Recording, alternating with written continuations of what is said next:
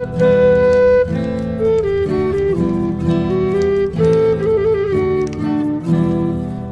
္ဂလာညာချမ်းလေးပါခင်ဗျာ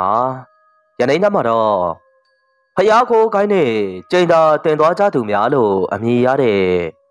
စိတ်ဝင်စားဖွယ်ရာဇာလန်ကောင်းလေးတစ်ပုဒ်ကိုရောပြတင်ဆက်ပေးလိုက်ပါတယ်ဗျာဟုတ်ကဲ့အားလုံးပဲနားဆင်ခံတာပေးကြပါအောင်ခင်ဗျာ အချိန်ကာလအဖြစ်1995ခုနှစ်ခန့်လောက်ကဖြစ်တယ်အချုပ်သားအစ်စ်ရောက်နေပါတယ်ဆရာအခန်းထဲကိုဝင်လာပြီးအလေးပြူရင်အကြောင်းကြားလာတဲ့ရဲဘော်လေးရဲ့စကားကြောင့်စကားမှုပမတယောက်ဖိုင်လွဲတွေကိုလှန်လောနေရကနေထိုရဲဘော်ကိုမျက်လုံးတစ်ချက်လှန်ကြည့်လိုက်ပါတယ်လေးသားပါတယ်အချုပ်သားအစ်စ်ကဘာအမှုလဲဘာအမှုမှမဟုတ်ပဲသူ့ဘာသာသူလာပြီးအဖမ်းခံတာပါဆရာ ရဲဘော်လေးရဲ့စကားကြောင့်ဘာမောင်တယောက်မျက်ခုံးနှစ်ဖက်မြင့်တက်သွားပါတယ်ဟေးကောင်ဘာအမှုမှမကျူးလို့မဲစခန်းမှာလာပြီးအဖမ်းခံနေနိုင်ခံလို့ရမလားကွာငါရိုက်လိုက်ရရင်တေကုန်တော့မှာပဲတာဝန်မှုကဘာတူလဲဆရာဆရာတယောက်မှခေါ်လိုက်စမ်းတာဝန်မှုကိုရဲဘော်လေးကဘာမောင်ကိုအလေးပြုပြီးအခန်းထဲကနေခတ်တုတ်တုတ်ပြန်ထွက်သွားပါတယ်ဘာမောင်လည်းရဲဘော်ရဲ့ထွက်ခွာသွားတဲ့နောက်ကျောကိုကြည့်ပြီးတပ်ပြင်းရှည်ကြီးကိုဟင်ကနေချလိုက်မိတော့တယ်ယခုတလော အလုတ်ဖြည်သေးမှုကြောင့်အတော်ပင်ခေါင်းရှုံနေရသည်မဟုတ်လားဖြစ်နိုင်ရင်ဝန်ထမ်းအလုပ်ကိုမလုပ်ချင်တော့ဘူးထို့တင်တာဝန်မှုရဲအုပ်တင်အောင်အခန်းထဲကိုဝင်လာပါတယ်ထိုင်ပါဟုတ်ကဲ့ဆရာဟုတ်ကဲ့လုံးမနေနဲ့အချုပ်သားအစ်စ်ရောက်တယ်ဆိုဘာအမှုနဲ့လဲဘာဖြစ်လို့အချုပ်ထဲကိုထည့်ထားတာလဲသူကဖျားခိုးမှုလို့သူ့ကိုယ်သူဖြောင်းချက်ပေးပြီးအချုပ်ထဲကိုအတင်းထည့်ခိုင်းတာသူကယူနေတာလားထူးဆန်းတာလားတော့မသိဘူး တမျိုးကြီးပဲဆရာဟာရဲအရာရှိတယောက်ဖြစ်ပြီးဦးကြောင်ကြောင်နဲ့သူ့ကိုခေါ်လိုက်စမ်းဒီကိုခေါ်လို့မရဘူးဆရာသူကမလိုက်ဘူးဆရာတွေးကြရင်သူ့စီကိုလာတွေးပါတဲ့ဘာကွာယူနေတာလားအဲ့ဒီလူကထိုအခါဒူရဲကိုတေအောင်လဲဦးချောင်းချောင်းအမူအရာနဲ့ခေါင်းကောက်နေပါတယ်။ဘာကွာရအောင်လို့တော့ပြီးခေါ်လာခဲ့။ခေါ်လို့မရဘူးဆရာ။စောစောကတည်းကဆရာစီကိုခေါ်တာအဲ့ဒီလူကမလိုက်ဘူး။တော်တော် မင်းထားမပြောနဲ့တော့ဘလို့အယူကစခန်းကိုရောက်လာလည်းမသိဘူး။အထက်ကတစ်မျိုးအောက်ကတစ်မျိုးနဲ့ကြာရင်ငါယူလိုက်မယ်ကွာ။စခန်းမှုပါမတရောရေလက်စဘောပင်ကိုပြစ်ချပြီးအချုပ်ခန်းရှိရာဘက်ကိုထွက်လာလိုက်ပါတယ်။စိတ်ထဲမှာလည်းထိုလူကိုအတော်လေးချင်သွားမိပါတယ်။သူရဲ့နောက်မှာတော့တာဝန်မှုဒူရဲအုပ်တေအောင်ကခက်ကောက်ကောက်နဲ့လိုက်ပါလာတယ်။သူ့ကိုဘာလို့ငါးစီကိုတည်မဖို့ပဲအချုပ်ထဲကိုထည့်ထားတာလဲ။သူကဖျားခိုးမှုကိုလာပြီးဝန်ခံတာပါစေရ။ သူပြောတဲ့ဖျားရှိတဲ့မျိုးကစခန်းကိုလှမ်းပြီးမေးကြည့်တော့လေအမှန်ပဲဖျားပြောက်သွားတာကိုသိလိုက်ရတယ်။ဒါကြောင့်သူဟာဖျားခိုးကိုင်းနဲ့ပတ်သက်မိတဲ့လူတအူးဖြစ်နိုင်တာမို့အချုပ်ထဲကိုထည့်ထားလိုက်တာပါစေရ။ပြီးတော့ဟိုဟိုလေဘာလဲကွာဆက်ပြောသမ်းဆရာကိုသူ့စီလာတွေ့ခိုင်းလိုက်ပါလို့ပြောတယ်ဘာမောင်ရဲ့စိတ်ထဲမှာအလုံးမင်းဒေါသထွက်နေပါတယ်စခန်းမှုကိုလာတွေ့ရန်ခေါ်ယူတဲ့အချုပ်သားမျိုးကိုတစ်ကြိမ်တစ်ခါမှသူမတွေ့ဘူးဘူးသူတို့ရောက်လာတာနဲ့ အချုပ်ခန်းအပေါက်ဆောင်တပ်သားကအဝင်အဝမှာရှိတဲ့တန်တကားကြီးကိုကျင်းကနေဖွင့်ပေးလာပါတယ်ဘာမောင်တို့လည်းအချုပ်ခန်းနေရှိရာဘက်ကိုရှောက်လာလိုက်တယ်အဲ့ဒီနောက်ထိတ်ဆုံးအခန်းရဲ့တကားဘောက်ကိုအဆောင်ကဖွင့်ပေးပြန်ပါတယ်ထိုအခန်းထဲမှာထုံးထားတဲ့မိသည်ဝါကျင်ကျင်ကထိုင်နေတဲ့လူရဲမျက်နှာကိုတည်တည်ချာချာမမြင်ရဘူးရောက်လာပြီလားမောင်ဘာမောင်သူ့ကိုဘာမောင်လို့ခေါ်တဲ့ကြောင့်အလွန်ပင်အာအာတင်သွားပါတယ်သူကဲ့သို့စခန်းမှုရဲအရာရှိတဦးကို ကိုတူကိုသားကိုတပည့်ကဲ့သို့ခေါ်နေသူအချုပ်သားကိုပို့ပြီးတော့တွေးကျင်စိတ်တွေပေါက်လာတယ်ဟိုလူကအခက်ရဲ့အလဲနေရာ၌တမြင်ခွေထိုင်ပြီးလက်နှစ်ဖက်ကိုလက်သီးဆုပ်ခါစန်တန်းရဲ့ဒူးနှစ်ဖက်ပေါ်မှာတင်ထားပါတယ်ပစိုးကွက်စိတ်ကျဲဖြင်းအင်းကြီးပင်နေရောင်ကိုဝစ်စင်ထားပါသေးတယ်။ဘောင်းမောင်နဲ့ထိုလူကိုတေးသေးချာချာကြည့်ပြီးစိတ်ထဲမှာတမျိုးတမီခံစားနေရတယ်။ခမည်းကဘာတူလဲ။ကျုပ်ကိုဘာဖြစ်လို့တွေးချင်တာလဲ။ သူ့ရဲ့မေးတံအဆုံးမှာပဲထိုလူကြီးကအတန်ဘဝကြီးနဲ့အာပါတရရဲမောလိုက်ပြီးငါ့ကိုဘာတူလဲ။မင်းကိုဘာလို့တွေးချင်တာလဲဆိုတာထက်မင်းကငါ့ကိုပိုတွေးချင်တာပါ။နောက်ဆိုရင်မင်းနေတိုင်းငါ့ကိုလာတွေးလိုက်မယ်။ဒီကနေမတော်မချင်းနေတိုင်းမို့ကွာဒီမှာဟဲ့လူခမရဦးကြောင်တောင်လုံးမနေနဲ့ကျုပ်ကိုဘသူထင်းနေလဲဒီမှာကျုပ်ကအကြီးဆုံးပဲစခန်းတစ်ခုလုံးကျုပ်စကားကိုနားထောင်ရတယ်ဗျ အပြောကြီးလားကြီးလားဘာမောင်ငါကမင်းတကားနားမထောင်ဘူးဆိုရင်ရောအောင်မဲဒီမှာတွေ့လားဒါခလေးကစားသေးရမဟုတ်ဘူးနော်ဘာဘာမောင်ကသူ့ရဲ့ခါးကြားမှာပြင်စရိုတနတ်ကိုထုတ်ပြီးထိုလူကြီးကိုထိုးချိန်လိုက်ပါတယ်။အော်မင်းကလည်းအာနာနဲ့ယာဓုကိုပြမတော့ငါကလည်းငါပညာကိုပြရသေးတာပေါ့ကွာ။ထိုတင်မပင်အချုပ်ခန်းတကားကသူ့အလိုလိုဂျိန်းကနေဆိုပွင့်သွားပါတယ်။ထိုမြင်ကွင်းကြောင့်ဘာမောင်ရောတင်အောင်မောင်လမ်းဖြန့်သွားကြတယ်။ အချုပ်ခန်းအပြစ်မှာရက်နေတဲ့တပ်သားပါလမ်းသွားပါတယ်။ထိုအခန်းထဲမှာရှိနေကြတဲ့အချုပ်သားတွေလည်းလမ်းဖြန့်ပြီးအခန်းထောက်မှာသွားကပ်နေကြတယ်။ဒါမှမလုံလောက်သေးရင်အချုပ်အဝါကတကားကိုပါဖွင့်ပြရမှာပေါ့။ထိုလူကြီးရဲ့စကားသံအဆုံးမှာပဲအခန်းအပြစ်မှာရက်နေတဲ့အချုပ်သားလေးကဂျိန်းကနေပွေသွားတဲ့အချုပ်ခန်းဝင်ပေါက်တကားစီကိုအမြန်ပြေးသွားပါတယ်။ထိုတကားပေါက်ဆောင်တပ်သားရဲ့အော်တန်ကြောင့်စခန်းတစ်ခုလုံးမှာရှိတဲ့ရဲတွေလည်းရုံသုံးကားဖြစ်ပြီး စခန်းမူကြီးအတွက်စိုးရိမ်ကုန်ကြတော့တယ်။မင်းလူတွေတယောက်မှထပ်ပြီးမလာခိုင်းနဲ့ပါမောင်။မင်းလက်ထက်ကတနက်ကရောငါ့ကိုပြစ်ကြည့်ခြင်းသေးလား။ထိုအခါမှပေါ့မောင်လည်းအလွန်လက်ဖြန့်သွားပြီးဟုတ်ဟုတ်ကဲ့ကျွန်တော်မသိလို့ခွင့်လွှတ်ပေးပါအပါ။အဘကဘလို့ပုံကူမျိုးမှမသိလို့ပါ။ပြပြစက်ဆိုတနက်ကိုခါးကြမ်းမှပြန်ထိုးပြီးထိုပုဂ္ဂိုလ်ရဲ့ဘေးမှာခက်ကြုံကြုံလေးတွားထိုင်လိုက်ပါတယ်။လူရဲအုပ်တေအောင်ကလည်းစကမ်းမှုဘေးမှာခက်ရွရွနဲ့လာထိုင်နေ။ ငါကအပြစ်နဲ့ကန်ကြွေးရှိလို့အခုလိုအချုပ်ထဲမှာလာနေတာ။ငါအပြစ်နဲ့ကန်ကြွေးတွေကြေတဲ့နေ့ငါဟာငါထွက်သွားရုံပဲ။ငါကိုဘယ်သူမှဖမ်းလို့မရဘူး။တားလို့လည်းမရဘူးကွာ။ဟုတ်ကဲ့အဘအဘကဘလို့ပုံကူမျိုးလဲဘလို့အမှုကြောင့်အခုလိုလာရတာလဲဗျာ။မင်းလန့်နေပြီမဟုတ်လားဘာမောင်။ငါတကားဖွင့်ပေးလိုက်လို့အချုပ်သားတွေအကုန်လွတ်သွားရင်မင်းဘာဖြစ်သွားမယ်ထင်လဲကွာ။အောင်မလေးမလုပ်ပါနဲ့အဘရဲ့အဲ့ဒီလိုသာဆိုရင် ဒီကဝန်ထမ်းတွေအကုန်လုံးအလုံးပြုတ်ပြီးထောင်ချကုန်ပါ။ဘာမောင်ရဲ့အဖေကြောင့်လူကြီးကတဘောကျသလိုတဟန်းဟန်းနဲ့အော်ရင်နေပြီးငါဘာမှမလုပ်ပါဘူးဘာမောင်ငါဖတာငါအေးအေးဆေးဆေးနေမှာပါငါနာမည်ကဘိုးတန်ငါကဖဲရိုက်တာတော့အင်မတန်ဝါသနာပါတယ်ဒါကြောင့်ငါကိုဘိုးတန်ပဲလို့ခေါ်ကြတာပေါ့ဒီဖဲရိုက်တဲ့ဝါသနာကြောင့်ပဲငါအခုတော့အချုပ်ထဲကိုဝင်ရတာကဲထားပါတော့ကွာ ကျုပ်ဒီနေ့ဘယ်သူနဲ့မှစကားဆက်ပြီးပြောလို့စိတ်မရှိတော့ဘူးမင်းငါကိုထပ်ပြီးတွေ့ချင်ရင်မတတ်ဖာမနဲ့10နာရီလောက်ကိုလာခဲ့ပေါ့ဟုတ်ဟုတ်ကဲ့ပါအဘတန်ဖဲတသားမောင်ဆွေကြံတဲ့အချုပ်သားတွေအကုန်လုံးဟိုဘက်အခန်းထဲကိုထည့်ထားလိုက်အဘတန်ဖဲတယောက်ပဲဒီအခန်းထဲမှာလွတ်လွတ်လပ်လပ်နဲ့နေပါသေးဟုတ်ကဲ့ပါဆရာဘာမောင်တယောက်အချုပ်ခန်းဘက်မှပြန်လာပြီးရုံးခန်းထဲကိုရောက်တဲ့အထိဘာတကားမှမပြောနိုင်ဘူးအဲ့ဒီတော့ချက်ချင်းအစည်းအဝေးခေါ်ကလုံခြုံရေးကိုတင်းကျပ်ဖို့ စီစဉ်ဆောင်ရွက်ရပါတော့တယ်စီသာစီစဉ်ရတော့လဲဘိုးတန်ဖက်ရဲ့အစွမ်းကကိုယ်တိုင်တွေ့ထားတာမို့တိတ်ပြီးအားမရှိပါဘူးရဲအုပ်ဘာမောင်မြို့နယ်မှုထံကိုဖုံးဆက်ခါမကြမီဆိုင်ကယ်နဲ့အပြင်ကိုထွက်သွားပါတော့တယ်ဟုတ်ရဲ့လားဆရာဘာမောင်ကျုပ်ကိုယ်တိုင်မျက်စိနဲ့တက်အပ်မြင်လိုက်တာပါဆရာအေးလေအထက်ကိုတော့အစီရင်ခံထားမှဖြစ်မယ်ထင်တယ်ဒီလူကအင်မတန်အန်တရယ်ကြီးတာပဲကျုပ်ဖြင့်တသက်နဲ့တကိုဒီတစ်ချိန်မဲ့ကြားဘူးတယ် အဲ့ဒီလိုလူတွေကိုစာအုပ်ထဲမှာပဲရှိတယ်လို့ထင်နေတာမနက်ဖြန်10နာရီကျုပ်လည်းဘိုးတံဘဲကိုလိုက်တွေ့မယ်အစီရင်ခံတာလည်းရေးထားလိုက်မယ်ကဲဘာမောင်ကြီးခမရတော့ဖျားတရားသာမြဲပြီတော့ပြိုမြို့နယ်မှုရဲ့စကားကလည်းမှန်နေတာမို့ရဲအုပ်ဘာမောင်တယောက်ခေါင်းကိုလေးပင်သွားနဲ့ညှိလိုက်မိပါတော့တယ်ရှမ်းပြည်ဘက်တာဝန်ကျနှင်မတကာဆုံးတို့ပညာသည်တို့နှစ်သာကြုံရမယ်လို့ထင်ခဲ့မိတော့လေဘိုးတံပဲလို့လူထူးတန်းကြီးနဲ့ကြုံတွေ့ရမယ်လို့တခါမှမထင်ခဲ့ဘူး မြို့နယ်မှုပြောတကယ်တော့ဖျားတယုံမှတပါအခြားမရှိအချုပ်သားတွေလွတ်သွားရင်လေထောင်နှန်းဆန်ရယုံမှတပါအခြားမရှိဘူးလို့သာတွေးနေမိတော့တယ်ထိုဒိန်းသားကဘာမောင်စခန်းမှသာအိတ်ဖြစ်လိုက်ပါတယ်သို့တော့နိုးတဝက်အိတ်တဝက်နဲ့မိုးတောင်ဘလို့လင်းလို့လင်းသွားတာကိုမသိလိုက်ပါဘူးယနေ့လည်းမျိုးနယ်မှုကစခန်းသို့လာမည်ဖြစ်တာကြောင့်အလုံးရှုံနေကြတယ်အထက်လူကြီးတအူးလာရင်ပြင်ဆင်တင်တာတွေကိုပြင်ဆင်ရသေးတာကထုံးစံပေမဟုတ်လားဆယ်နာရီထိုးကနီး၌မျိုးနယ်မှုရောက်လာတာမို့ ကျဲအုပ်ဘာမောင်နဲ့မျိုးနယ်မှုတို့ကဘိုးတံမဲစီကိုလာတွေးချတယ်ဘိုးတံမဲဒါကျုပ်ရဲ့အထက်အရာရှိမျိုးနယ်မှုပါဘာလဲကျုပ်ကိုမယုံလို့လာကြည့်တာလား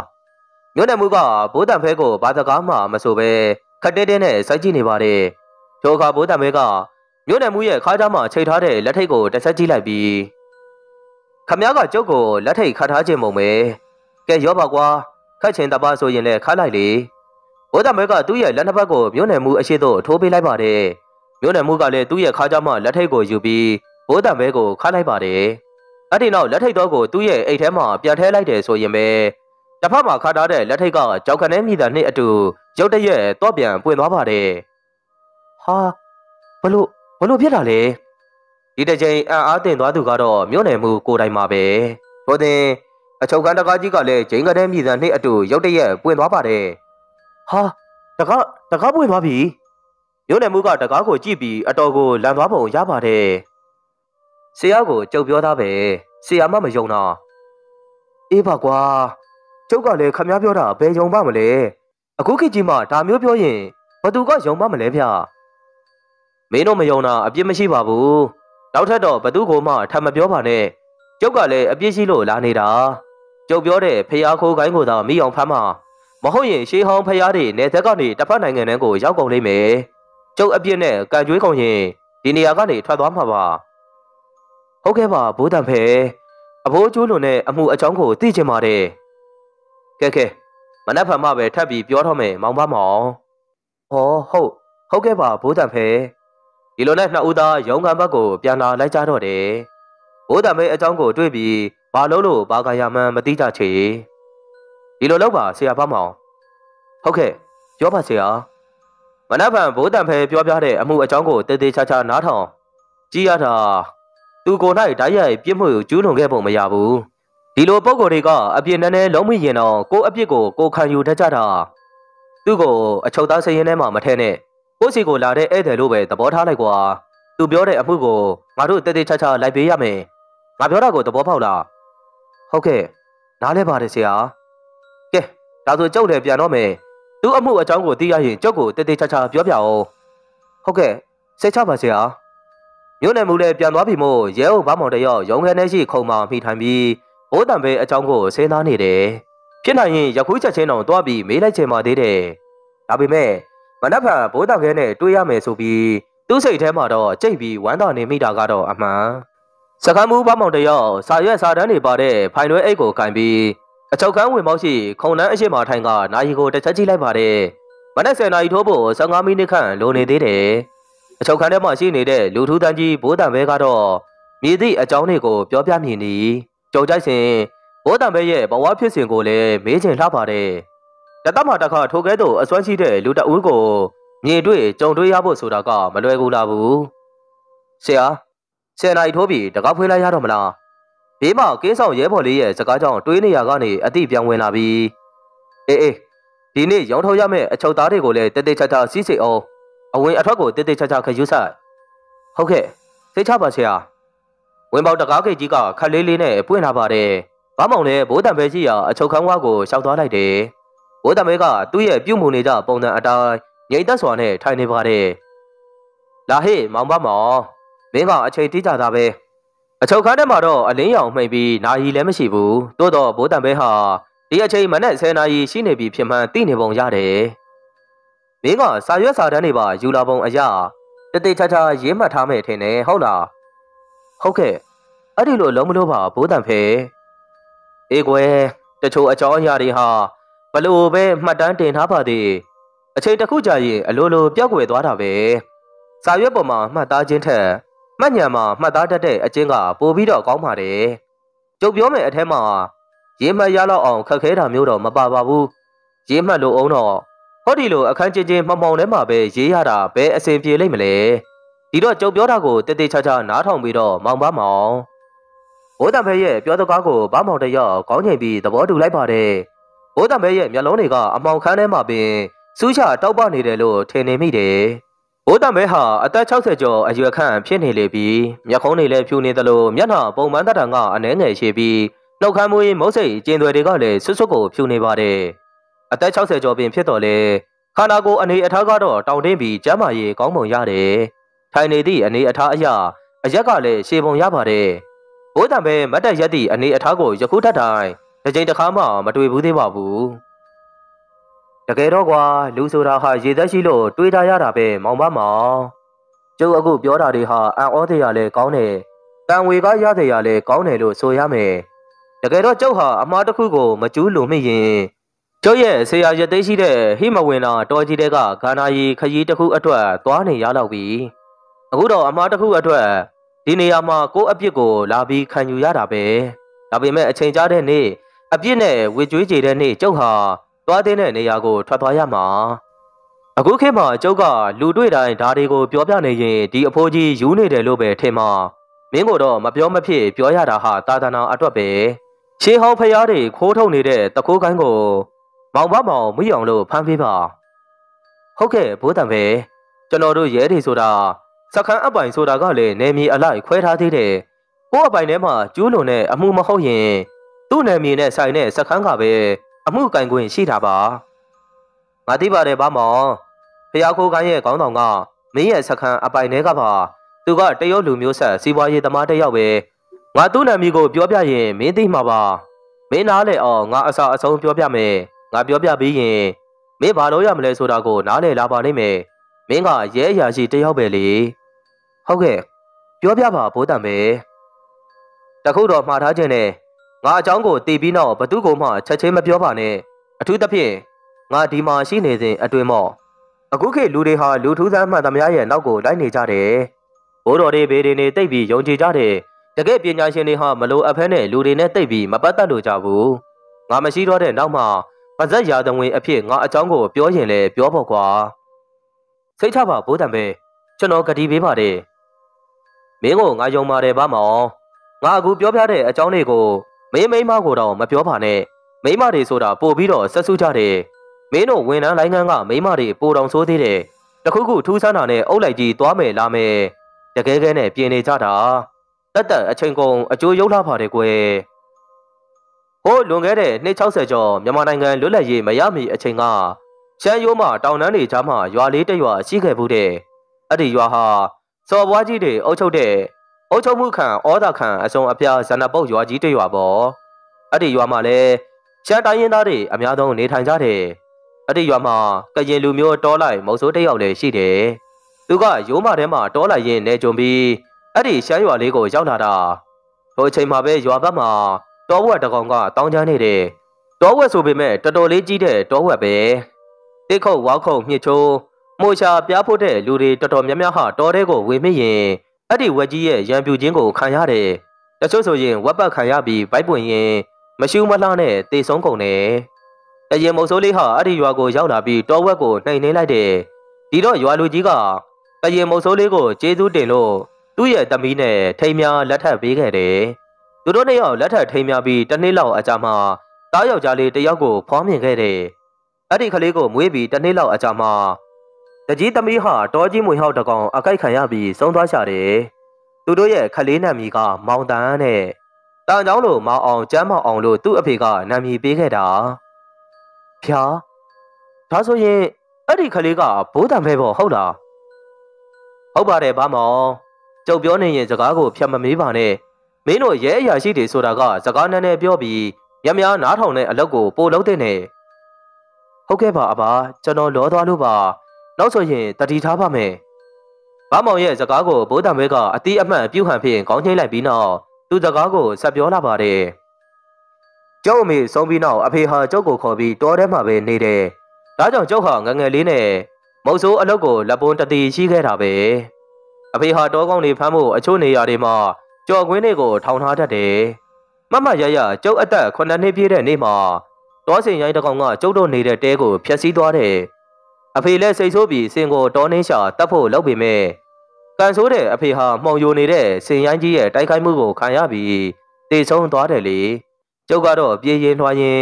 အဖေထောင်ထားတဲ့ကြော်ကွင်းတစ်ခုကိုနင်းမိပြီးတစ်ပင်မှကြိုးတန်းလန်းနဲ့ဇောက်ထိုးကြီးဖြစ်နေခဲ့တယ်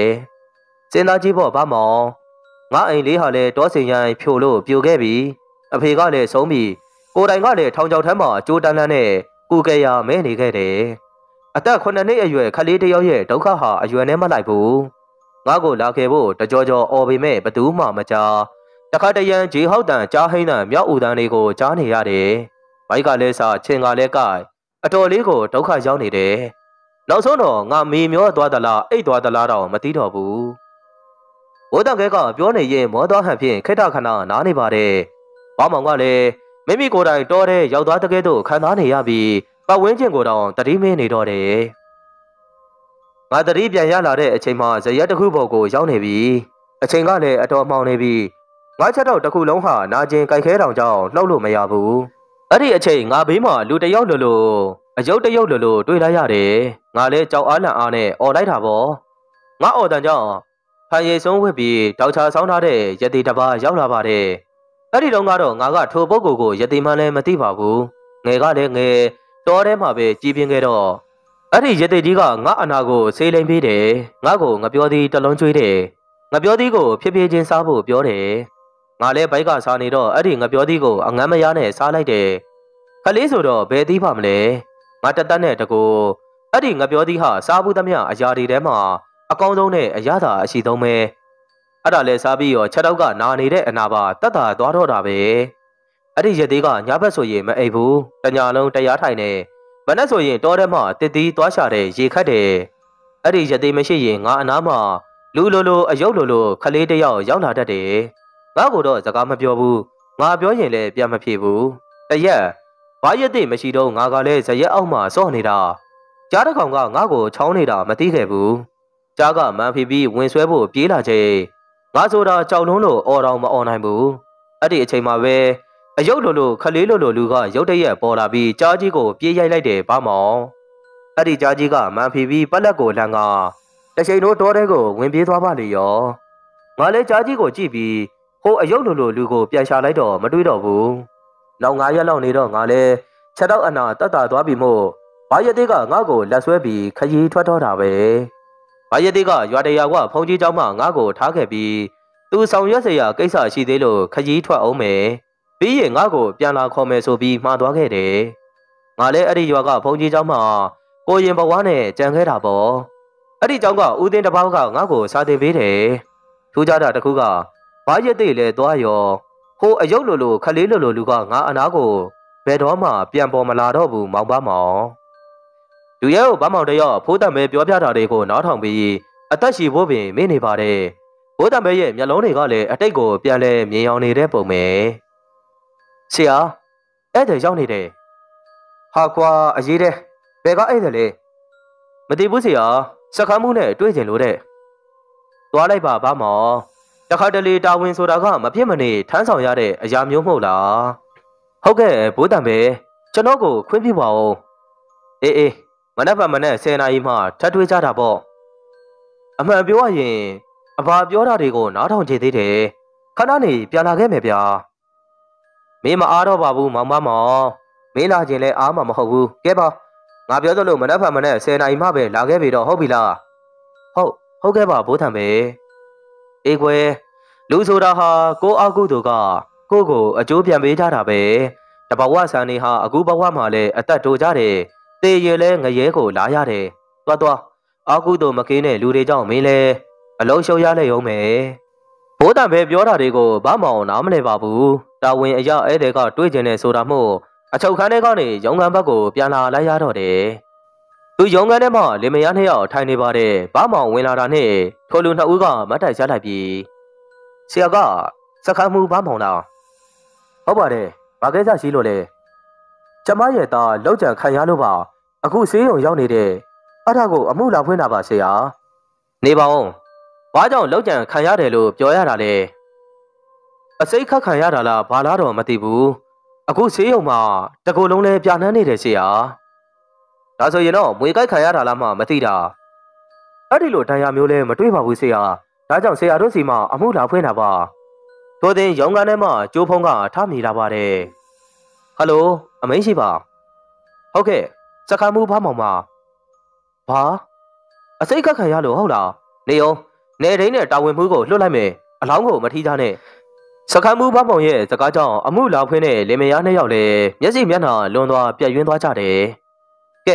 ခမရတို့သားလိုပဲနောက်တစ်ယောက်ထပ်ရှိလာပြီးကျုပ်အပိုင်ထဲမှာတော့အမှုကြီးတွေဖြစ်ပြီးထင်ပါရဲ့စေယုံကိုကျုပ်ကိုယ်တိုင်လိုက်သွားမယ်တက်သားမျိုးမြင့်ရဲ့ရဲအုပ်ကိုတင်အောင်ကိုခေါ်လိုက်ကွာနောက်ပြီးသူ့အဖွဲ့တဲကတက်ကြနှစ်ယောက်ကိုပါခေါ်လာခဲ့။အော်ရောင်ညိုပြီးရက်ကွက်ကနေဒိန်းနဲ့ဒီနေ့တာဝန်မှုနဲ့အဖွဲ့ အဲ့ဒီရက်ကွက်ကဥက္ကဋ္ဌကိုခေါ်ပြီးအမှုဖြစ်တဲ့အိမ်ကိုသွားလိုက်။မူကင်းတပ်ပုံဆရာပါတခါတည်းခေါ်တော့တေးသေးချာချာစစ်ဆေးခဲ့ပါ။ဟုတ်ကဲ့စိတ်ချပါဆရာ။ထိုနေ့ကဗမောင်တရဘိုးတံပဲပြောတလို့မအားမလန့်နိုင်ဖြစ်နေပါတယ်။ဆေးရုံမှလူနာကလည်းသူတို့ရောက်ချိန်မှဆုံးသွားခဲ့လေပြီ။ထိုနေ့ကတေဆုံးသူနှစ်ဦးသလုံးတကူလုံးအစိမ့်မိပြီးတေဆုံးတဲ့လက္ခဏာဖြစ်နေပါတယ်ဘာမောင်တယောက်ဘလို့လုံးရမယ်ဆိုတာတော့မသိတော့အမှုကလည်းတော်တော်လေးကိုထူးဆန်းနေပါတယ် ထိုအလောင်းတွေကိုမှုကင်းဆရာဝန်ထံမှာတဖန်ပြန်လဲအနှံရပြန်တယ်ညအချိန်နဲ့စွတ်စွတ်ငွေ့ငွေ့ဦးလိုက်တဲ့ခွေးဦးသားချင်းကစကန်းတဝိုင်းလုံးကိုလွှမ်းချုံသွားပါတယ်အကိုမအိတ်သေးဘူးလားမအိတ်သေးပါဘူးမိမရဲ့တမီးတွေရောအိတ်နေပြီလားတမီးကြီးကတော့စာကြက်နေသေးတယ်အငယ်မလေးကတော့အိတ်သွားပြီအေးကွာအခုတလောအတော်လေးစိတ်ပင်ပန်းနဲ့မိမရေဖြစ်နိုင်ရင်ကိုအလုပ်ကနေထွက်ချင်တယ် ဒီနေ့လေအစိမ့်မိပြီးတည်တဲ့အလောင်းနှလောင်းဟင်းဟုတ်လားဟုတ်တယ်မိမတကိုယ်လုံးပြာနှမ်းပြီးတည်ကြတာအမှုကြီးတွေဖြစ်ပြီးနဲ့တူတယ်ကွာစိတ်ဓာတ်မကြပါနဲ့အကိုရဲ့အရင်ကပိုင်ရှင်မဲ့အသက်ခံရပြီးပုတ်ပွားနေတဲ့အမှုတော်အကိုကတရခံဖော်ထုတ်နိုင်သေးတာပဲဒီတစ်ခါလဲအမှုမှန်ဖော်ထုတ်နိုင်မှာပါကဲပါမိမယာမင်းလည်းမနှက်ဖန်ကြောင်းသွားရအောင်မယ်မဟုတ်လားငင်းနေနေပြီအိပ်ပြီတော့ကိုလည်းခဏနေအိပ်တော့မယ်ဩ ကိုအောက်ကိုခဏသွားအောင်မလို့လိုက်အောင်မလားတော်ပြီအကိုမေအကူလေးတင်သွားထားတာခွေးအုပ်လို့အမြန်ပြန်ပြေးလာတာဟေးကိုမိမကဘယ်တော့ကတရဲကြောက်သွားတာလဲကွာအောင်မဲမေကမကြောက်ပါဘူးနော်ဒါပေမဲ့အခုကရှမ်းပြည်ဘက်မှာနေတာလဲအသားမကျသေးတော့စုံးနေကဝေတွေတော့ကြောက်တာပေါ့အကိုရဲ့နေပါဦးကွာခွေးတွေကစုံးတွေ့ရင်ဥလို့လားမတီးဘူးလေအကိုရဲ့ဒါပဲနော်စကားကိုကတ်မပြောနဲ့ စားတာပါမိမယာကဲကဲတော့အဲ့တော့ကိုဘိုင်းနာနေပြီမရတော့ဘူးလစ်ပြီဟေးဘာမောင်နဲ့အိမ်နာဘက်ကိုခတ်တော့တော့နဲ့ရှောက်လာလိုက်ပါတယ်အော်မလေးအခုမှပဲနေသားထိုင်တာရှိတော့တယ်ကွာဟာဒီတောက်ခွေးကွာအိမ်တော်ရှိမှလာပြီးဦးနေရတယ်လို့ဟက်ခွေသွားတဲ့ဘာမောင်တယောက်အိမ်သားတဲကနေပြီးဦးနေတဲ့ခွေးတွေကိုအော်ဟစ်ပြီးချောင်းနှမ်းလိုက်ပါတယ်ဟင်ခြေတံမလားတမီးကြီးလားဒါမှမဟုတ်မေးများလား ခြေတံကအိမ်သားနဲ့တဖြည်းဖြည်းနေကလာပြီးနောက်ရက်တန့်သွားပါတယ်ဘာမောင်နားဆုံပြီးထောင်ကြည့်လိုက်တော့ခြေတံကိုမကြားရဘူးမေးများငါ့ကိုစားနေတာလားမိမမိမမင်းလားကွာအပြင်မပြန်ထူးတန်လုံးဝမချရသူတို့နေထိုင်ရာဝန်ထမ်းအိမ်ယာဤတောင်းထိုင်အဝါရောင်မိသည့်တလုံးတက်ဆင်ထားပါတယ်ထိုမိသည့်ကအိမ်ရဲ့နောက်ဖေးလမ်းကြားတစ်လျှောက်ကိုကောင်းတော်မြင်နေရတယ်ဘာမောင်လဲအိမ်သားရဲ့ထရံပေါက်ကြားကနေအပြင်ဘက်ကိုချောင်းကြည့်လိုက်ပါတယ်ဟင်ပုတ်တော့ ဘာမောင်တယောက်ရုတ်တရက်ထိတ်လန့်သွားပါတော့တယ်အိမ်သားရှိတလန်လောက်အကွာမှာပြာနန်းနန်းခန္ဓာကိုယ်ကြီးနဲ့မတ်တက်ရက်နေတဲ့လူတအူထိုလူဟာနေလေကဆေးရုံမှာအစိမ့်မိပြီးတည်သွားတဲ့လူမန်းကိုဘာမောင်ကောင်းတော်မှတ်မိနေတယ်ဒုက္ခပဲအိမ်သာရှိမှမမကြီးလာရက်နေတဲ့ငါဘလို့များလုပ်ရပါမလဲသူ့ရင်နေတတိုင်းတိုင်းခုံပြီးချွေးတွေကလည်းတကိုယ်လုံးကိုရွှဲရွှဲနစ်နေပါတယ်ဟာဘာဘာတန်ကြီးလဲ ဘာမောင်လဲကြောက်ကြောက်လန့်လန့်ဖြင့်ထရန်ချားကနေအပြင်ကိုထပ်မံချောင်းကြည့်လိုက်ရာထိုရာကြီးကသူ့ရဲ့ဥကောင်းကိုလက်နဲ့တစ်ဖက်ဖက်ရိုက်နေခြင်းဖြစ်တယ်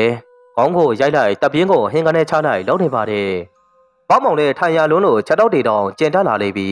။အကိုရေမပြီးသေးဘူးလားကြာလာပြီ။အော်အေးအေးပြီးပြီ။ဝမ်းချုံနေလို့ပါမိမရဲ့။ဘောင်းမောင်နဲ့မိမကိုပြန်ပြောလိုက်ပြီးလွန်သွားကိုဝမ်းသာသွားပါတော့တယ်။သမီးအကြီးမကိုအိမ်သာလိုက်ဖို့ဟန်တူပါတယ်။ သူတကားဖွေးလိုက်တဲ့အခါပြာနှမ်းနေတဲ့လူကြီးလည်းမရှိတော့ဘူး။အိမ်မော်ကိုပြန်ရောက်မှပဲဘောင်းမောင်တပ်ပြင်းကိုခြာရဲတော့တယ်။ထိုလူဟာဆေးရုံမှအပြန်သူနှင့်လိုက်လာခဲ့ပုံရတယ်။ဘာကြောင့်သူ့ရဲ့ဦးကောင်းကိုတစ်ဖက်ဖက်ရိုက်နေတယ်လဲဆိုတာကိုတော့စဉ်းစားလို့မရဘူး။ခြေတော့ကကျေနေတာမို့အိမ်လေကမ်းမှာအတန်ကြာတဲ့အထိထိုင်နေရပါသေးတယ်။ထိုအချိန်မှဘိုးတံဖေးအကြောင်းကိုတတိယမိသွားတယ်။ဘိုးတံဖေးပြောသလိုပဲငါဒီနေ့တနေကုန်မအားပါလား။ ဒီလူကြီးကမြင်ဘူးသမျှထဲမှာအထူးအဆန်းဆုံးပဲသူကကြိုတိနေတာများလား။မနက်ဖက်မနက်မှ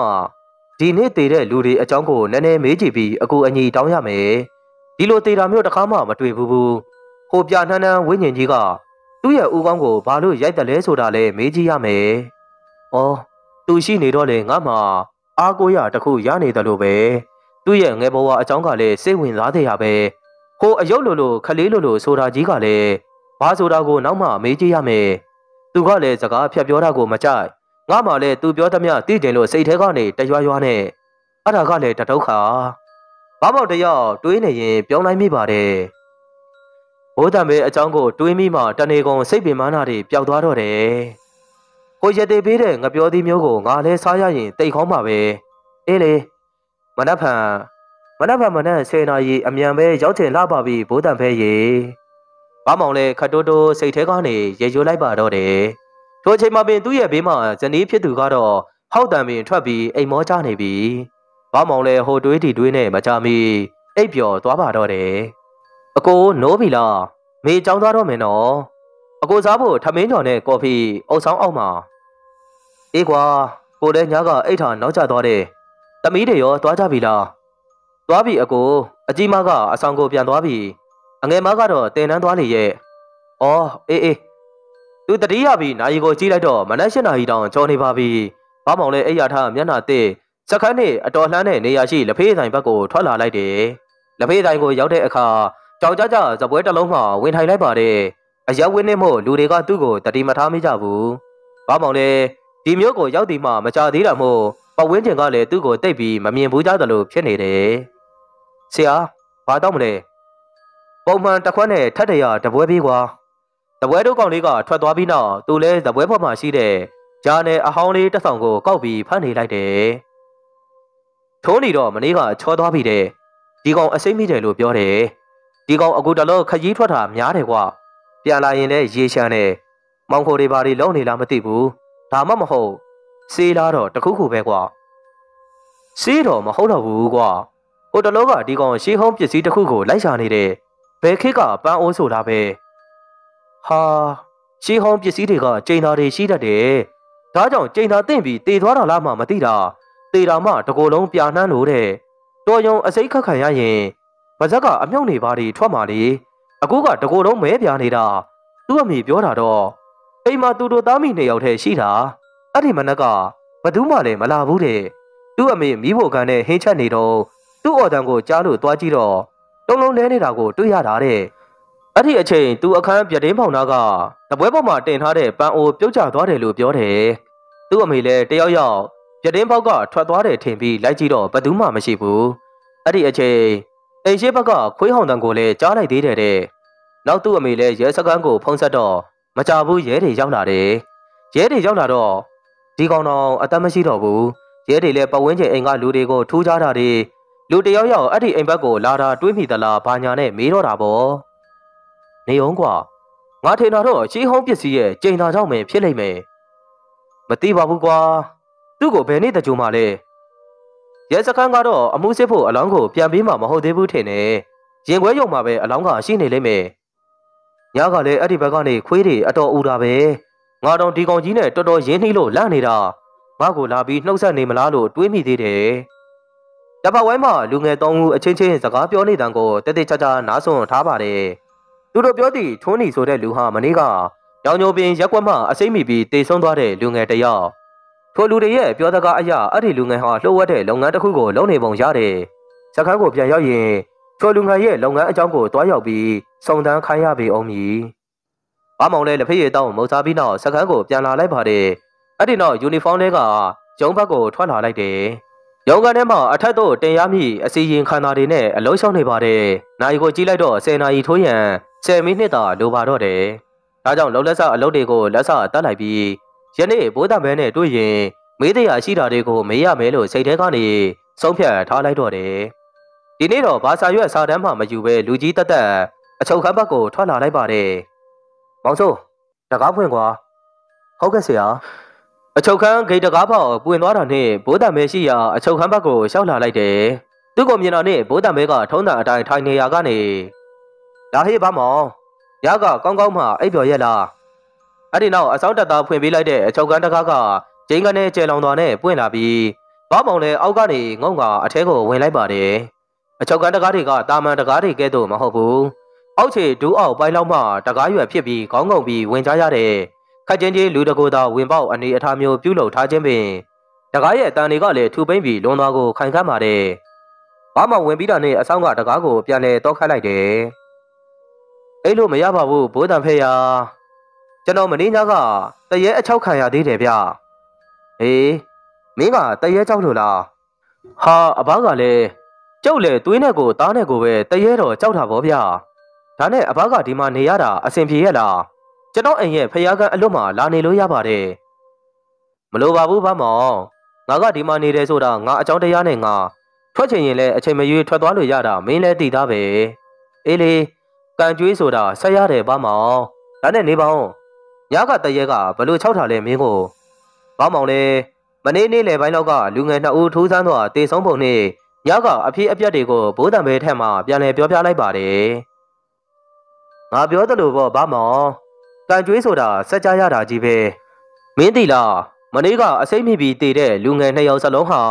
အင်မတန်မှအပြစ်ကြီးတဲ့အလုံးကြောင့်အသေးစိုးနဲ့တေကြရတာငါပြောတဲ့ဖျားခိုးခိုင်းထဲမှာအဲ့ဒီလူငယ်တွေပါတယ်သူတို့ခိုးလာတဲ့ဖျားတွေမှာအဆောက်နေရှိတယ်ဗမောင်ဖျားတွေကရှီဟောင်းဖျားအစ်စ်တွေကွာရှေးခေတ်ကလူတွေဟာအဖိုးတန်ပစ္စည်းတစ်ခုတိုင်းမှာကျိန်သားတွေထားတတ်ကြတယ်အထူးသဖြင့် ဖျားကိုလှူတဲ့အခါမှာတာသနာအတွက်ကလွယ်ပြီးအဲ့ဒီအရာတွေကိုတခြားမှာအလွဲသုံးသားလောက်ခွင့်မရှိအောင်လို့ကြိန်ဆိုထားကြတယ်မင်းလည်းပညာတတ်တစ်ယောက်ပဲတတိထားမိမှာပါဟိုးရောမခေတ်ကလေးကတအူးဆန်ပိုင်စနေအုပ်ချုပ်သူဘရင်တွေဟာကျိန်သားတွေကိုအရန်ကိုအသုံးပြုခဲ့ကြတယ်အဲ့ဒီလိုမြမမင်းတရားကြီးတွေဟာလည်းကျိန်သားတွေကိုအင်မတန်မှယုံကြည်ကြတယ်ပကံခေးကြောက်စာတွေကိုလေးလာကြည့်ရင်ကျိန်သားတွေကိုတွေ့နိုင်တယ်ဒါတော့မင်းတို့သိတာနေသေးတယ် မြမမင်းတရားတွေဟာကျိန်သားတွေအပြင်လောကီအစီအရင်တွေကိုလည်းအင်မတန်မှအားကိုးတတ်ကြတယ်ဓမ္မီယပညာတွေဟာလေးလာလို့မကုံအောင်ကိုနှက်နဲတယ်ဗမောင်ငါတတ်ထားတဲ့ပညာဆိုတာကလည်းဓမ္မီယပညာရဲ့အစိတ်အပိုင်းပညာရဲ့တစ်ခုပဲတမထာလိုက်ဟာအင်မတန်မှရှုပ်ထွေးတဲ့လောကီပညာတွေစုသီးထားတာပဲဇံရတယ်ဆိုတာကလည်းတမထပဲဒါကြောင့်ငါတို့ရဲ့ဗုဒ္ဓမြတ်ဖရာဟာယဟန်တွေကို ဝိပဿနာစစ်စစ်ဖြစ်တဲ့မဂ်ခင်ရှိပါတရားကိုသာကျင့်သိခဲ့တယ်တမထဘက်ကိုရောက်သွားရင်နိဗ္ဗာန်ကိုမမြင်နိုင်မှာဆိုလို့အရှိဒေဝရဟာတမထဘက်မှာအာသံပြီးတကူအရာမှာပြေဝလာလို့ဖယားရှင်ကိုအာခံရင်းနဲ့အဝေဒီငရဲကိုရောက်ခဲ့ရတယ်မဟုတ်လားကဲထားပါတော့ဒါတွေသာပြောနေရင်ပြီးမှာမဟုတ်ဘူးရကမင်းစီလာတဲ့လူငယ်ဟာဘာလို့မင်းကိုလာပြီးခေါင်းကိုပုတ်ပြရတယ်လဲဆိုတော့သူ့ငယ်တိတ်ကိုမွေကိုက်လိုက်တာကိုပြောချင်တာ တကယ်တော့မွေမဟုတ်ဘူးငကားကွာငကားတိုက်ကအပြစ်ပေးတာဒါကြောင့်မနေ့ကတေဆုံးတဲ့လူငယ်နှစ်ဦးရဲ့ငယ်တိတ်ကိုစစ်ဆေးကြည့်ရင်မွေးသွဲရလို့အရာကိုတွေ့ရလိမ့်မယ်။ဦးကောင်းဆိုတော့သပင်နေနဲ့မို့တရားကိုရုတ်တရက်မမြင်ရဘူး။ပြီးတော့လူတရက်ရဲ့ဦးကောင်းထိတ်ကိုတပ်ပုတ်တဲ့မွေရဲ့အရွယ်အစားဟာဘလောက်ရှိမလဲဆိုတာတွေးကြည့်ပေါ့။လူတက်မှုမဟုတ်တော့မင်းလဲအလုံးရှုပ်တတ်တာတာပေါ့ဗမောင်။မင်းသူတို့အမှုကိုပုံမှ300နှိမ့်လို့တာပြောင်းလိုက်ပြီတော့။ သူတို့ဟာငရဲမကြောက်ကြလို့တာရှေးဟောင်းဖျားကိုခိုးရဲကြတာ။အဲ့ဒီဖျားတွေရဲ့ရာသဝင်တမိုင်းတွေအလှရှင်တွေရဲ့စေတနာတွေကိုသူတို့ကဥပိ္ပခာပြုတ်ပြီးတဘဝကောင်းစားရေးအတွက်လှုံရဲကြတာကိုအံ့ဩပါတယ်ကွယ်။ဩဒါကြောင့်ဟိုလူငယ်ရဲ့ဝိညာဉ်ကသူ့ကောင်းကိုလာပြီးတော့ပုတ်ပြနေတာကိုဘိုးတံပဲပြောလို့သာကျွန်တော်သိရတယ်။တေဆုံးသူထိုးနေကိုလာတတ်တဲ့မွေဟာပြတင်းပေါက်ကနေပြန်ထွက်သွားလို့ပန်းအိုးကလည်းကြာခွဲသွားတာနေလိမ့်မယ်။ ဒါကြောင့်သူ့အိမ်ကခွေးကလည်းမွေကိုရုတ်တရက်တွေးလို့ထောက်ဟောင်တာဖြစ်မယ်။မနက်ကလက်ဖက်ရည်တောက်ရင်လူငယ်တွေပြောတာကိုကြားခဲ့ရတဲ့အဖကြီးဒါဆိုလေအမှုဖွင့်ထားတာတွေကိုပြန်ပိတ်ပြီး300နှစ်ပုံမှပြန်ပြောင်းရမယ်ဒါပေမဲ့လူငယ်နှစ်ယောက်နဲ့ပတ်သက်တဲ့ဂွင်းဆက်တွေကိုတော့လိုက်ရအောင်မယ်ပြီးတော့မှုကင်းဆရာဝန်ရဲ့စစ်ချက်ကိုလည်းစောင့်ကြည့်ရမယ်ဒါမှလူတတ်မှုမဟုတ်ကြောင်းကိုအစီရင်ခံတာတင်လို့ရမှာအပါအေးကွယ်အတတ်တရားမနေရ အမှုတရားတွေ့ရတတ်တာမျိုးပါလားဗမောင်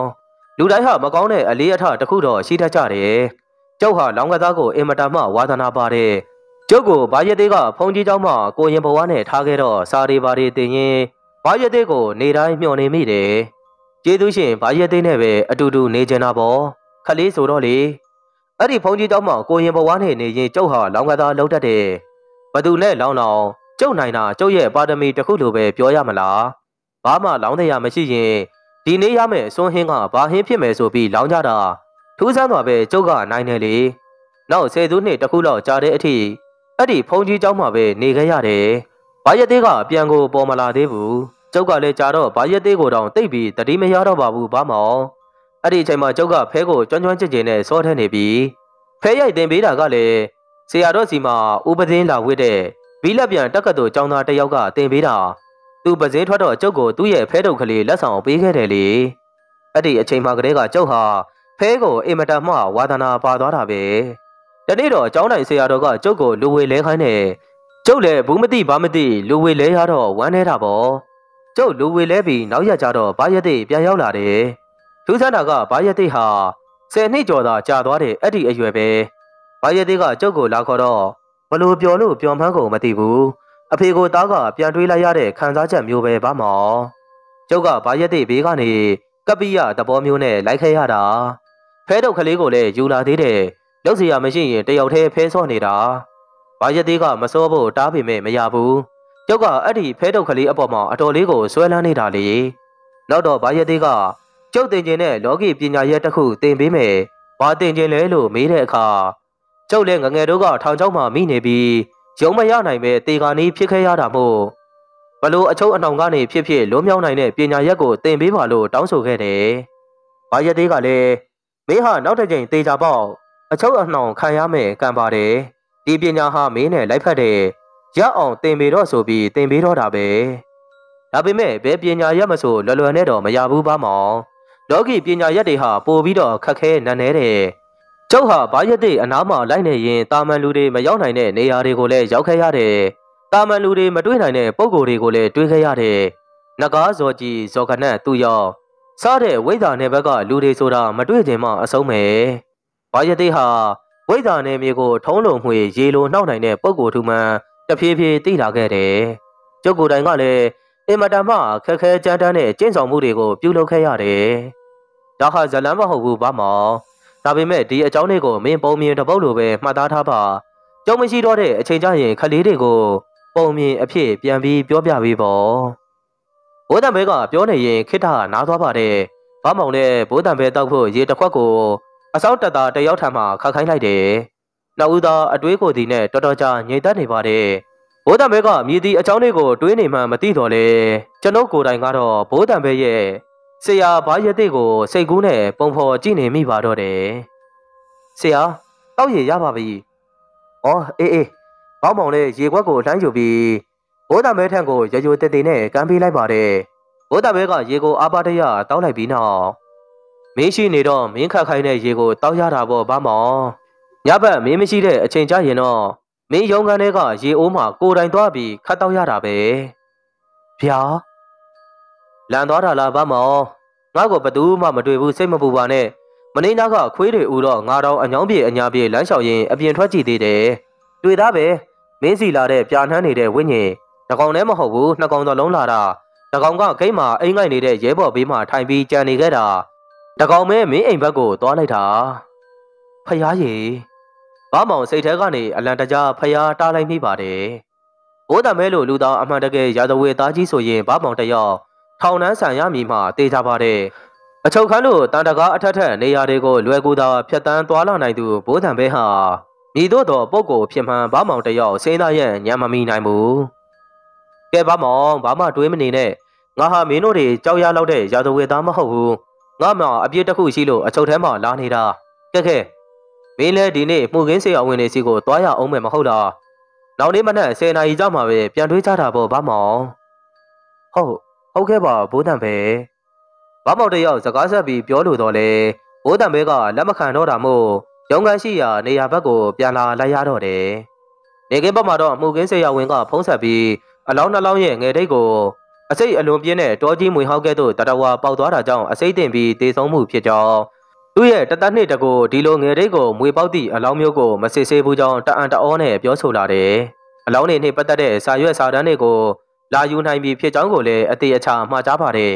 ။ဘောင်းမောင်တဲ့ရဲရရှိတအူးကိုဆေလွတ်ပြီးအလောင်းတွေပတ်သက်တဲ့ဈေးဆေးချက်တွေကိုတွားယူခိုင်းလိုက်ပါတယ်။အဲ့ဒီနောက်အစည်းအဝေးပြုလုပ်ပြီးတေဆုံးသူတွေရဲ့အလုပ်အကိုင်နဲ့ပတ်သက်သူတွေကိုအသေးစိတ်စုံစမ်းမှုကိစ္စတွေကိုဆွေးနွေးတိုင်ပင်ကြတယ်။ထိုနေ့ကအမှုဖွင့်ထားသူတွေကိုခေါ်ယူပြီး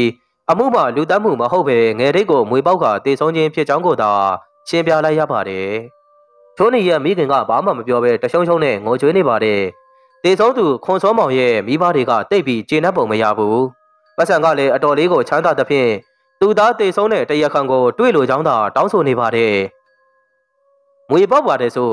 ပေါက်တဲ့မွေကအဲ့ဒီမှာရက်နေမလားဗျပြေးပြီပေါ့ဒီမှာဒေါ်နန်းပွာခမည်းကလည်းခမည်းသားတေတာကိုမကျေနပ်တယ်လို့ကျုပ်တို့ကလည်းခမည်းသားနဲ့ပတ်သက်သူတွေကိုလိုက်ပြီးစုံစမ်းရအောင်မေခမည်းတို့ပြောတဲ့တရခန်ဟာဒီအတိုင်းဆိုရင်နောက်ထပ်လူတွေကိုတတ်အောင်ပါပဲခမည်းတို့တောင်အဲ့ဒီစိတ်ရင်းထဲမှာပါရင်ပါနေလိမ့်မယ်။ ဘာမောင်ကစူးစူးဆိုင်ဆိုင်ကြည့်ပြီးပြောလိုက်တာမို့ဒေါ်နန်းဖွာရဲ့မျက်နှာအတော်လေးပင်ပြက်ယွင်းသွားပါတယ်။ဆရာကဘာကိုဆိုလိုချင်တာလဲ။ကျမတို့ကဒီမျိုးမှာမသိသူမရှိသလောက်ပဲဆရာကအခုမှပြောင်းလာတော့ဘယ်သေးပါမလဲဒီမှာဒေါ်နန်းဘွာခမရတို့ဘာသာဘာကြီးပဲဖြစ်နေနေကြုတ်စိတ်ဝင်သားဘူးအခုခမရသားတည်ဆုံးတာဟာလေခမရပြောသလိုယုံနိုင်တရားမရှိတဲ့ဖြစ်စဉ်မျိုးပါခတ်တာကခမရသားတယောက်တည်းဒီလိုသေးတာမဟုတ်ဘူးခမရသားနဲ့ကန်တူအကျိုးပေးနောက်တစ်ယောက်ရှိသေးတယ် ကျုပ်ကလည်းစုံစမ်းတရားတွေလောက်ရအောင်မှမို့တတ်အပ်မပြောနိုင်သေးဘူးနောက်တစ်ချိန်ခမရတို့နဲ့ပြန်တွေးခဲ့မယ်ဆိုရင်ကောင်းသောတွေးဆောင်ခြင်းမျိုးဖြစ်ပါစေလို့ပဲဆုတောင်းပါတယ်ထိုအခါခွန်စောမောင်ရဲ့ဖခင်ကဟာဆရာရဲ့ကျုံမိမပြောတာကိုစိတ်ထဲမထားပါနဲ့သူကသားစောနဲ့မှတ်လို့ပါကဲလာပါမိမရဲ့ပြန်ကြရအောင်သားရဲ့အာတုပအတွက်ပြင်ဆင်နေရရှိတာတွေလည်းပြင်ဆင်ရအောင်မယ်ဆရာကျွန်တော်တို့ကိုပြန်ခွင့်ပြုပါအောင်နော် ဒေါ်နတ်ဘွားတယောက်ရဲစခန်းမှထွက်သွားတော်တဲ့ကျေနပ်ပုံတော့မရဘူးထိုနေ့မှစပြီးစခန်းမူဘမောင်ဦးစီးကတေဆုံးသူတွေနဲ့ပတ်သက်တဲ့လူတွေကိုတက်တက်စိတ်စုံစမ်းမှုစတင်ခဲ့ကြတယ်ထိုတေဆုံးသူတွေဟာဖျားကိုကိုင်းနဲ့ပတ်သက်နေကြတဲ့လူတွေပင်မဟုတ်ပါလားထိုးနီရဲ့အာတုဘမှာရဲအုပ်ဘာမောင်တယောက်အရက်ဝစ်ဖြင့်ရုပ်ဖြတ်ပြီးရောက်နေပါတယ်ဘာမောင်ရဲ့အနီးတစ်ဝိုက်မှာလည်းရုပ်ဖြတ်ထားတဲ့ဒူရဲအုပ်နှစ်ဦးကအခြေအနေကိုစောင့်ကြည့်နေတယ် ထိုးနီရဲ့တေဆုံးမှုကိုစိတ်ဝင်စားသဖြင့်လာရောက်ကြီးစုတဲ့လူတော်တော်လေးများပြားပါတယ်ထိုးနီရဲ့ရုပ်ကလပ်ကိုစေးရုံရဲ့ဇရက်မာသာပြင်ဆင်ထားကြတယ်ခွန်စောမောင်ရဲ့အလောင်းကိုတော့သူ့ရဲ့မိဘတွေကအိမ်ကိုပြန်တည်သွားကြသဖြင့်ဇရက်မှာထိုးနီရဲ့အလောင်းတစ်လောင်းသာကြံရစ်ခဲ့ပါတယ်ဘာမောင်တယောက်ထိုအာတုဘတို့ရောက်လာသူတွေအားလုံးကိုတည်တည်ချာချာစစ်စစ်ဆက်ဆက်ကြီးရှုနေတယ်။ထို့တဲ့မျက်မှောက်တတ်ထားတဲ့လူလက်ပိုင်းအရွယ်ရှိယောက်ျားတအုပ်က ထိုးနေရဲ့မိခင်အနားကိုရောက်လာပြီးငွေတချို့ပေးလိုက်ပါတယ်။အဲ့ဒီတော့ထိုးနေရဲ့မိခင်နားနားကိုကတ်ခါတစုံတရာပြောနေသေးတယ်။ပဝင်းချင်းကိုမတိမတာအကက်ခက်ကြီးရှုပြီးနောက်ထိုနေရာကနေပြန်လဲထွက်ခွာသွားပါတယ်။ဘောင်းမောင်လည်းရဲအရာရှိနှစ်ဦးကိုမျက်ရည်ပြလိုက်တယ်။ထိုအခါဘောင်းမောင်ရဲ့လူတွေကထိုလူနောက်ကိုထက်ကြမကွာလိုက်သွားကြပါတယ်။ဘာမော်တယောက်ဆေးရုံရဲ့နေရာတစ်ခုကိုသွားပြီးရုပ်ဖြတ်ထားတာတွေကိုပြန်လဲပြင်ဆင်၍ယူနီဖောင်းကိုလဲဝေးလိုက်ပါတယ်။အဲ့ဒီနောက် အာတူပါတို့ယခုမှရောက်လာသည့်ပုံစံဖြင့်ထိုးနေရဲ့မိခင်ကိုနှုတ်ဆက်လိုက်တယ်။ဒေါ်လေးအစဉ်ပြေရလားကျုပ်ဘာကိုညီပေးရအောင်မလဲ။ရပါတယ်စခန်းမှုကြီးရဲ့အစဉ်ပြေပါတယ်။ငွေရေးကြေးရေးပိုင်းရောလိုအပ်သေးလား။အာမနာပါနဲ့ဒေါ်လေးလိုအပ်ရင်ပြောပါ။ကျုပ်တတ်နိုင်တဲ့လောက်ကိုညီပါမယ်။အော်ဒါနဲ့စကားမဆက်ထိုးနီကအရင်ဘာအလုပ်တွေလုပ်သွားခဲ့တာတဲ့သူအလုပ်ရှင်တွေကလာမကြည့်ကြဘူးလား။ အလုပ်ကတော့ဘာမှမမေရရမရှိပါဘူးဆရာ။မှာတဲ့လူရှိရင်ချေးဟောင်းပစ္စည်းလေးတွေလိုက်ရှာပြီးဝယ်ပေးတာပါ။ဒါကလည်းပုံမှန်ငွေရတဲ့အလုပ်မဟုတ်ပါဘူး။ဘယ်အလုပ်ရှင်မှလည်းမရှိသလိုလာလဲမတွေးကြပါဘူးစခန်းမှုကြီးရဲ့။အော်စိတ်မကောင်းပါဘူးဗျာ။ကျုပ်လည်းဆောင်ရွက်เสียတာဝန်လေးတွေရှိသေးတာမို့သွားခွင့်ပြုပါဦး။လိုအပ်ရင်တော့စကန်းကိုအချိန်မရေးဆက်သွယ်ပါကိုညီပေးဖို့အစင်သင့်မှာပဲတော့လေကျေးဇူးပါစကန်းမှုကြီးရဲ့ ဘောင်းမောက်တယောက်ဆေးရုံရဲ့ဇရက်ကနေပြန်လဲထွက်ခွာလာလိုက်ပါတယ်သူ့ကိုလိုက်ကြည့်နေသည့်လူနှစ်ဦးရှိတာကိုတော့တတိမထားမိလိုက်ပါချေဘောင်းမောက်တယောက်ဆိုင်ကယ်အစုပ်ကလေးကိုဂယုတဆိုင်မောင်းနေလာပါတယ်သူ့ရှိမှမြင်းလဲတစည်းကလည်းလှုပ်လီလှုပ်ရက်နဲ့သွားနေတယ်ဘာမောင်မြင်းလဲကိုကြော်တက်လိုက်ရသူ့နောက်မှာအရှင်ဖြစ်မောင်းလာတဲ့ကားတစ်စီးကဘာမောင်ကိုဖျက်တိုက်ဖို့ကြိုးစားလာတယ်ငါမောင်ဆိုင်ကယ်ကိုဘေးတစ်ဖက်ရှိမြောင်းဘက်ကိုဆွဲကွေးလိုက်ရပါတယ်။ဟာဘာဘာတွေဖြစ်ကုန်တာလဲ။ မြင်းလဲစရာရဲ့အော်တန်ကကျဲလောင်သွားနဲ့ထွက်ပေါ်လာပြီးမြင်းလဲကလည်းရုတ်တရက်တုံကနေဆိုရပ်သွားပါတယ်။ကားလေးကတော့အချိန်အဟုန်ပြင်းပြင်းနဲ့ထိုနေရာကနေမောင်းပြေးသွားနေပြီ။ဆရာဆရာရရလားဘာဖြစ်သွားသေးလဲ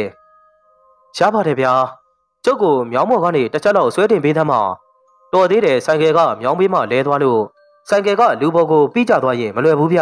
။မြင်းလေသမားကဘာမောင်ကိုမြောင်းပေါ်ကနေကိုပြီးဆွဲတင်ပေးလိုက်ပါတယ်။ ပြီးတဲ့နောက်ဘာမောင်ရဲ့ဝစ်စုံကိုကြည့်လိုက်ပြီး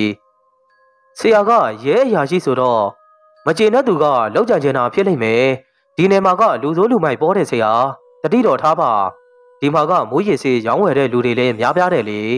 ။ကျေးဇူးပါကိုလီရေ။ကျုပ်ကပြောင်းလာတာမကြသေးတော့အမှုမဲ့အမှတ်မဲ့ဖြစ်သွားတာတတိပေးလို့ကျေးဇူးတင်ပါတယ်။ဟာဆရာလက်လက်မှာသွေးတွေရရလားရပါတယ်ဗျာမြောင်းထဲကိုကြောက်တုံးကစူးနဲ့ချင်းမိသွားတာကိစ္စမရှိဘူး ကျုပ်ကိုကူညီပေးတာကျေးဇူးပါခမည်းနာမည်ကကျုပ်နာမည်ကဖိုးအေးမြင်းလဲခိတ်မှာအဖိုးအေးလို့မေးရင်လူတိုင်းသိပါတယ်ဆရာအောက်ပါပြီကျေးဇူးတင်ပါတယ်ကိုဖိုးအေးကျုပ်ကတော့အမှတ်နှစ်ရဲစခန်းကစခန်းမူဘာမှမဩဟုတ်ကဲ့ပါဆရာကဲကိုဖိုးအေးကျုပ်ပုံစံကတော့တွေးတဲ့အတိုင်းပဲစုပ်ပြတ်နေလို့မသေးတာပဲကံကောင်းတယ်ပြောရမယ်အိမ်ပြန်ပြီးရေချိုးလိုက်ဦးမယ်ဗျာဟုတ်ကဲ့ဆရာဂယုဆိုင်ပြီးသွားပါဦး ဘာမော်တယောက်လည်းစခန်းအတွင်းရှိဝန်ထမ်းအိမ်ယာကိုပြန်လာပြီးရေချိုးလိုက်ပါတယ်ယခုမှပဲခန္ဓာကိုယ်ကနာကျင်လာတာကိုခံစားလိုက်ရတယ်မြောင်းထဲကိုပြုတ်ကြကာသားကသွေးပူနေတာလားမပြောတတ်ယခုမှတကိုယ်လုံးကန်ရိုက်ထားသလိုဖြစ်နေလေပြီအကိုရဲ့ဘာမှမဖြစ်လို့တော်သေးတာပေါ့မေစိတ်ပူလိုက်တာစိတ်မပူပါနဲ့မေရဲ့ကိုဘာမှမဖြစ်ပါဘူးနောက်ဆိုရင်ဂယုဆိုင်ပြီးနေရမယ်မိမရေအင်းမကဲရော့ရော့ အခုတော့အနာအကျဉ်တက်ထောင်လို့အကြိုက်ခဲပျောက်စေးလေးတောက်ပြီးအိတ်လိုက်တော့နော်ဘာမောင်လဲမိမဖြစ်သူပေးတဲ့အကြိုက်ခဲပျောက်စေးကိုတောက်ပြီးအိတ်ပျော်သွားပါတော့တယ်ဘာမောင်တယောက်မနက်လင်းကလေးကအလုပ်တွေရှုံနေပါတယ်တတိယလို့နာယီကိုကြည့်လိုက်တဲ့အခါမနက်10နာရီထိုးဖို့15မိနစ်သာလိုပါတော့တယ်ဒီမနက်ကြတော့လေအချိန်တွေကကုန်းတာမြန်လိုက်တာကွာခါတိုင်းနေ့တွေကြတော့မနက်10နာရီထိုးဖို့ကိုထိုင်ဆောင်နေရတဲ့ဘိုးတံဘဲနဲ့တွေ့ရင်တော့တီးကျင်တာလေးတွေမေးအောင်ပါပဲ ဘာမောင်လဲ10နာရီထိုးတာနဲ့ဘိုးတံဘဲရှိတဲ့အချုပ်ခန်းဘက်ကိုထွက်လာလိုက်ပါတယ်ဘိုးတံဘဲကလည်းခါတိုင်းထိုင်နေကြပုံစံအတိုင်းငြိမ်သက်စွာနဲ့ထိုင်နေပြီးကဲဘာဖြစ်တာလဲဘာမောင်ညနာကလည်းမကြည်မလင်နဲ့ဟုတ်တယ်ဘိုးတံဘဲကျွန်တော်မနေ့ကလောက်ချံခံရတယ်မသေးတာကံကောင်းတယ်လို့ပဲပြောရလိမ့်မယ်အဖကြီးမနေ့ကမြောင်းနေကြတဲ့အချိန်နဲ့ဒီမနက်တော့တကိုယ်လုံးနာကျင်ကြိုက်ခဲနေတာပဲအေးလေကွယ်ရဲလို့လုံတဲ့သူအတွက် ဒါဟာစမ်းကြဲတဲ့ကိစ္စတော့မဟုတ်ဘူးလေပါမောင်ဒါဟာမင်းတို့လုပ်ငန်းရဲ့ဖြစ်ရိုးဖြစ်စဉ်တစ်ခုပဲမဟုတ်လားမင်းကိုယ်တိုင်ကရောဖျားတရားတွေလှုပ်ဖြစ်ရလားနောက်တစ်ခုကမင်းတို့စီရောက်လာတဲ့ဘသူမဆိုအပူတောကားတွေနဲ့ကြီးပဲဘသူမတို့အချုပ်ထဲကိုလာနေခြင်းတဲ့လူတယောက်မှမရှိဘူးပါမောင်ငါကလွဲရင်မော့ကွာပြောနေရင်ဘိုးသမဲကသဘောကျတယ်လို့တခါခါနဲ့ရေမောနေပါတယ်တခုတော့ပြောရအောင်မယ်ပါမောင်အပူသားဆိုတာမစားကောင်းဘူးကွာ မင်းတို့ဝင်တဲ့အတော်များများဟာဒုက္ခရောက်သူတွေစီကမတထားရည်သားတွေစားပြီးခြေသိမ်တင်းကြတာများတယ်လူမွေးလူရောင်မပြောင်းကြဘူးဒါကြောင့်အပူသားစားမိတဲ့ဝန်ထမ်းတော်တော်များများဟာပင်စင်ယူပြီးယာဒူးတွေလည်းစိုးလိုက်ရောဒုက္ခတွေအသေးအလဲရောက်ကြတော့တာပဲဝန်ထမ်းတိုင်းကိုတော့မဆိုလိုပါဘူးကွာအထူးသဖြင့်မင်းတို့လိုရဲဝန်ထမ်းတွေပေါ့ဒုက္ခရောက်နေသူတွေကိုစေတနာတန်တန်းနဲ့အကူအညီပေးပါစိတ်ချပါဘိုးတံပဲကျွန်တော်ကူညီဖို့ကတိပေးပါတယ် ဒါနဲ့သိကျင်တော်လေးတစ်ခုရှိလို့မေးဖရသည်ဘာများလဲပါမောင်ငငယ်တုန်းကဘာရက်တိမရှိရင်ပေါ်လာတဲ့ခလေးလိုလိုအယုတ်လိုလိုဆိုတာကဘာတူလဲသူကဘာကြီးလဲအပါအေးလေကျုပ်လည်းအစားကတော့အဲ့ဒီအရာကိုဘာမှမသိဘူးကျုပ်ဘာရက်သိနဲ့လိုက်နေရင်တနေ့တော့ဘာရက်သိစီမှာအဲ့ဒီခလေးလိုလိုအယုတ်လိုလိုအရာအကြောင်းကိုမေးကြည့်မှပဲသိရတာအဲ့ဒီအရာကသူငယ်တော်အယုတ်တယ်ဗမောင်ဗျာ တငယ်တော်အယုတ်ဟုတ်လားအဖဟုတ်တယ်ဗမောင်တငယ်တော်ရုပ်လို့လဲခေါ်တယ်လို့တတ်တိုးရုပ်လို့လဲခေါ်ကြတယ်ကွာလောကီပညာနဲ့ဆိုင်တဲ့အယုတ်ပေါ်ရှေ့ခေတ်မြမဘရင်မင်းနေထိုင်တဲ့ပလင်အရှိမထားထားတဲ့အယုတ်တစ်ခုပေါ့အဲ့ဒီတငယ်တဲ့ရုပ်ကတဖြည်းဖြည်းကြီးလာရင်ဘရင်ဩတာကလည်းတဖြည်းဖြည်းကြီးလာမယ်လို့ယုံကြည်ကြတယ်ဗမောင်အဲ့ဒီအယုတ်ကြီးကတကယ်ကြီးကြီးလာတာလားအဖအယုတ်ကြီးကတော့ဘယ်ကြီးပါမလဲဗမောင်ဒါပေမဲ့ အယုတ်ကိုထူးလို့စင်ကထူးလို့သူတွေဟာဂါထာမန္တန်တွေရွတ်ပြီးအစီအရင်နေနဲ့ထူးလို့ကြတာပေါ့ကွာလောကီအတတ်ပညာတစ်မျိုးပေါ့တုံငယ်တော်ရုပ်ဆိုတာကဦးစံဖုံးနဲ့အဝေးအစားမပါဘူးလက်နှစ်ဖက်ကိုနှစ်ဖူးပေါ်မှာတင်ကပူတော်နေဟန်နှစ်နှစ်သားအရွယ်ယောက်ျားတငယ်ရွှေဘိန်းချတာတဲ့ပပူးရုပ်ဖြစ်တယ်ဗမောင်ဗမောင်တယောက်ဖိုးတံမဲပြောပြတဲ့တုံငယ်တော်အယုတ်ကိုလွန်တော်စိတ်ဝင်သားသဖြင့်အသက်ရှူရန်ပင်မေ့နေမိတယ်လို့ထင်မိတယ် ဘိုးတမဲကဘာမောင်ကိုကြည့်ပြီးသဘောတကျပြောလိုက်ပြီးနောက်တုံငယ်တော်ရုပ်ကကြီးလေတကိုးအာနာကလည်းကြီးလေမှုတတ်တိုးရောက်လို့လေခေါ်တာပေါ့သူတို့ကတကယ်ရောကြီးလာလို့လားအဖငါတွေ့ရတဲ့အယုတ်လိုလိုလူလိုလိုအရာကတော့နှစ်နှစ်သားအရွယ်ဘယ်ကမလဲပါမောင်အဲ့ဒီတော့ကသူ့ရဲ့ခန္ဓာကိုယ်ဟာလူပြိုပေါက်အရွယ်လောက်ကိုရှိမယ်ထင်တယ်ဒါပေမဲ့ခလေးရုပ်ပဲဒါကငါတွေ့တဲ့တငယ်တော်ရုပ်ရဲ့နာမော့ မင်းတော်မင်းကြီးလက်ထက်မှာတော့ကရာသပလင်ရှေ့မှာစီထားဖို့တငယ်တော်ရုပ်ကိုပပူကောင်းတော်မောင်ပန်းအောင်နဲ့တပည့်သား20တို့ကထုလုပ်ပြီးဆက်သားခဲ့ကြတယ်အဲ့ဒီတငယ်တော်ရုပ်ကိုထုလုပ်ပြီးတာနဲ့မပြီးသေးဘူးဗမောင်လိုအပ်တဲ့လောကီအစီအရင်ဂါထာမန္တန်တွေရွတ်ပြီးတိတ်ထိတင်ကြရသေးတယ်ဒါမှတငယ်တော်ရုပ်ကအသက်ဝင်မှလေအရက်စကားနဲ့ပြောရရင်တော့လက်ပြသွင်းတာပေါ့ကွာအခုခေတ်လူတွေကြားရင်တော့ဒါဟာဘယင်တွေရဲ့အယူသီးမှုတစ်ခုလိုထင်ကောင်းထင်နေကြလိမ့်မယ် ဒါပေမဲ့မင်းတော်မင်းတရားကြီးနဲ့ကျင်းမြင့်မိဖုရားတို့ရဲ့သားတော်ပြင်မနာမင်းသားကြီးကတော့သူသူ့ရဲ့ငယ်ဘဝတုန်းကတငယ်တော်ရုံးနဲ့ပတ်သက်ပြီးထူးခြားတာကြုံမှုခဲ့တဲ့သူပဲဟုတ်လားအဘဘလို့ကြုံရတာလဲဗျပြင်မနာမင်းသားကြီးငယ်ဘဝကမြေနံပြတ်တော်မှရှိတဲ့တီဟာတနပလင်ရှိကတငယ်တော်ရုပ်တည်ရဲ့ခေါင်းကိုပတလားတီးသလိုတီးပြီးစော့နေခဲ့တယ်သူ့ရဲ့ဦးကြီးတော်မြေနန်းဝန်မမောင်လေးနဲ့ အဆောင်နေမှုရန်တော်မမောင်တုတ်တုတ်ကတားပေမဲ့မရခဲ့ဘူးအဲ့ဒီညမှာမေတော်ကျင်းမြင့်မိဖုရားကြီးကမှန်နှန်းဆောင်မင်းတရားကြီးထံကိုအခါသားဝင်နေတော့ပြင်မနာမင်းသားကတီဘောမိဖုရားအဆောင်မှာတွားပြီးအိပ်ရတယ်မင်းသားလေးလည်းအိပ်ရတဲ့လှဲ့ရောတတိုးရုပ်တွေကရောက်လာကြပြီးမင်းသားလေးရဲ့ခေါင်းကိုဝိုင်းပုတ်ကြတော့မင်းသားလေးခမရမအိပ်နိုင်ဘဲနဲ့ငိုယိုနေတာတီဘောမိဖုရားကလည်းအကြောင်းစုံကိုတီသွားတော့ညာတွင်ချင်းကတော်ပွဲပြင်ပြီးတီဟာတနပလင်ရှိကတတိုးရုပ်တွေကို မင်းသားလေးကိုယ်တိုင်တောင်းပန်ကတော်ခိုင်းလိုက်တယ်အဲ့ဒီလိုတောင်းပန်ပြီးပြန်လာမှအဆောင်တော်မှာဘာအနောက်အရက်မှမရှိတော့ပဲကောင်းကောင်းမွန်မွန်နဲ့အဲ့လိုရသွားတယ်လေဒါဆိုအဲ့ဒီအယုတ်တွေကအများကြီးရှိတာလားအဖအေးကွယ်အထက်မြန်မာနိုင်ငံကိုဗီဒီရှားတွေသိမ်းပိုက်ပြီးနောက်တတိုးရုပ်82ရုပ်ကိုအင်္ဂလန်နိုင်ငံကိုယူသွားတယ်လို့သိရတယ်ပါမောင်အခုတော့ဗီဒီရှားပြားတိုင်းမှာ2ရုပ်ဝီတိုရီယာနဲ့အဲဗက်ပြားတိုင်းမှာ1ရုပ်အောက်စ်ပို့ပြားတိုင်းမှာ1ရုပ် ရှေးဟောင်းပစ္စည်းစုဆောင်းသူမစ္စတာအန်ဖိုင်တင်းဆိုသူထံမှ၄ရုပ်မြန်မာနိုင်ငံမှာတရုတ်စုစုပေါင်း9ရုပ်ပဲရှိတော့တယ်ဗမောင်ဒါဆိုမြန်မာနိုင်ငံကတရုတ်ကဘိုးတမဲရဲ့ဆေးရဘာရသေးထမှာရှိတဲ့တရုတ်လားဖြစ်နိုင်တာပေါ့ကွယ်ဒါပေမဲ့အဲ့ဒီတတိုးရုပ်ကိုလည်းဘာရသေးကရှိတင်ရှိထိုက်တဲ့နေရာကိုပို့လိုက်ပြီလို့ပြောတာပဲဗမောင်ဘယ်အရက်ဘယ်ဌာနေမှာရှိမယ်ဆိုတာငါလည်းမသိဘူးဘာရသေးကငါ့ကိုဖုန်းကြီးเจ้าမှထားပြီး ကန္နာရီခရီးရှည်ထွက်သွားတာဟာအဲ့ဒီတငယ်တော်ရုပ်ကိုသူ့နေရာမှာသူသွားထားရင်တခြားကိစ္စတွေဆောင်ရွက်ဖို့အတွက်ပေါ့ကွာကျေးဇူးတင်လိုက်တာအဘယာကျွန်တော်သိကျင်နေတာတွေသိခွင့်ရလို့အေးခွေရေသက်ရှိလို့သာတွေးထားရတာမဟုတ်လားဘာမောင်ဒါပေမဲ့ငါတို့ဟာရေသက်ရှိတဲ့ခဏစုံချရတာရေဆက်ကုံတဲ့တနေ့ခွဲထားရအောင်မယ်မဟုတ်လားဘာမောင်ဘိုးသားမဲရဲ့စကားကြောင့်ဘာမောင်စိတ်ထဲမှာဝမ်းနေတဲ့လို့ခံစားလိုက်ရပါတယ်။ အော်ဒါနဲ့လေဘိုးသားမဲသွားရင်ကျွန်တော်ကိုတော့နှုတ်ဆက်သွားပါဦးနော်ငါကမသွားသေးပါဘူးကွာသွားမယ်ဆိုရင်လည်းနှုတ်ဆက်ရိုထုံးတယ်မရှိဘူးဘာမောင်မင်းစင်းသားကြည့်လူတွေဟာတွေးဆောင်ခြင်းနဲ့ခွဲခွာခြင်းကြားမှာအသားချဖို့လိုအပ်တယ်အဲ့ဒီလိုအသားချဖို့တရားဓမ္မလိုအပ်တယ်ဓမ္မကိုမသိတော့မိသားစုတဲ့ရုတ်တရက်တေဆုံးကြရင်ငိုကြယိုကြနဲ့ဘသူကငါတေတော့မယ်ဆိုပြီးနှုတ်ဆက်ထွက်ခွာသွားကြလို့လေဘာမောင်ခွဲခွာခြင်းဆိုတာ စမ်းကြဲတဲ့အရာလဲမဟုတ်တယ်လို့တကူးတကနှုတ်ဆက်စရာလဲမလိုပါဘူး။ဘာမော်တရော့ဘိုးတံဘဲကိုတမေတမောနဲ့ငေးကြည့်နေမိတယ်။တာမန်လူတအူးကိုစကားပြောရတာနဲ့မတူဘိုးတံဘဲရဲ့နှုတ်ထွက်စကားတွေကတော်တော်လေးကိုထူးဆန်းနေသည်မဟုတ်ပါလား။ဘိုးတံဘဲကဘာမောင်ကိုတစ်ချက်ကြည့်ပြီးပြုံးလိုက်ပါတယ်။အဲ့ဒီနောက်ငါဟာဘာရက်သေးနဲ့တောတွေတောင်တွေတဲကိုလိုက်နေရင်ကျင့်စဉ်နေကျင်ခဲ့ရတယ်။အထူးသဖြင့်အားတဲ့အချိန်တွေမှာတရားထိုင်ရတယ်။ တကယ်တော့တရားထိုင်နေဆိုတာတမာရီကိုထူထောင်ရတဲ့အလုပ်ပဲ။ဒါဟာတမထအကျင့်ဆိုပေမဲ့ဝိပဿနာကျင့်ကြံတဲ့သူတွေအတွက်လည်းမဖြစ်မနေကျင့်ဆောင်ရတာပဲဗမောင်အချို့ခရီးတွေမှာဆိုရင်ငါကနေခဲ့ရတဲ့ဘာရက်တဲ့တယောက်တည်းသွားရတဲ့ခရီးတွေမှာငါကလိုက်ပါခွင့်မရှိဘူးလေအဲ့ဒီလိုအချိန်တွေဆိုရင်ငါကဖဲရိုက်တော့တာပဲဗမောင်ရေ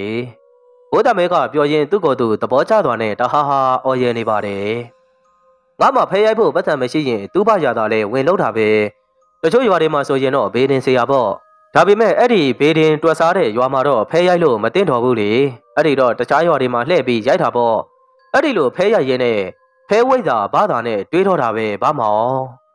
ဗျာဖဲဝိတ်သာဘာသာဟုတ်လားအဖဟုတ်တယ်ဗမောင်ငါဘလောက်ပဲရိုက်ရိုက်ဘာသာနဲ့ကြာရင်ရှုံးတာပဲမင်းလည်းသိလားငါကဖဲနဲ့ပတ်သက်လာရင်ဝါသနာကြီးတာလေ ငါလည်းဘယ်ရလိုက်မလဲဘာသာစီမှာတပည့်ခံလိုက်တာပေါ့ဒါပေမဲ့ဘာသာဟာဖဲဝိတ်တာဆိုပေမဲ့အပေါင်းအသင်းကအင်မတန်မှဆုံတာငါရဲ့ဆရာဘာရသေးဟာဒီတစ်ချိန်သူခရီးထွက်တာနှင်းနဲ့ချီပြီးကြမယ်ဘယ်အချိန်ကျရင်ငါ့ကိုပြန်လာခေါ်မယ်ဗမာဆုံကြမယ်ဆိုတာကိုပြောခဲ့တယ်ဒီတစ်ချိန်မှာဘာရသေးကငါ့ကိုလူတွေနဲ့နီးသက်တဲ့နေရာမှာထားခဲ့ရမှနောက်ဆုံးပဲတဲ့ဒါကြောင့်ငါ့ကို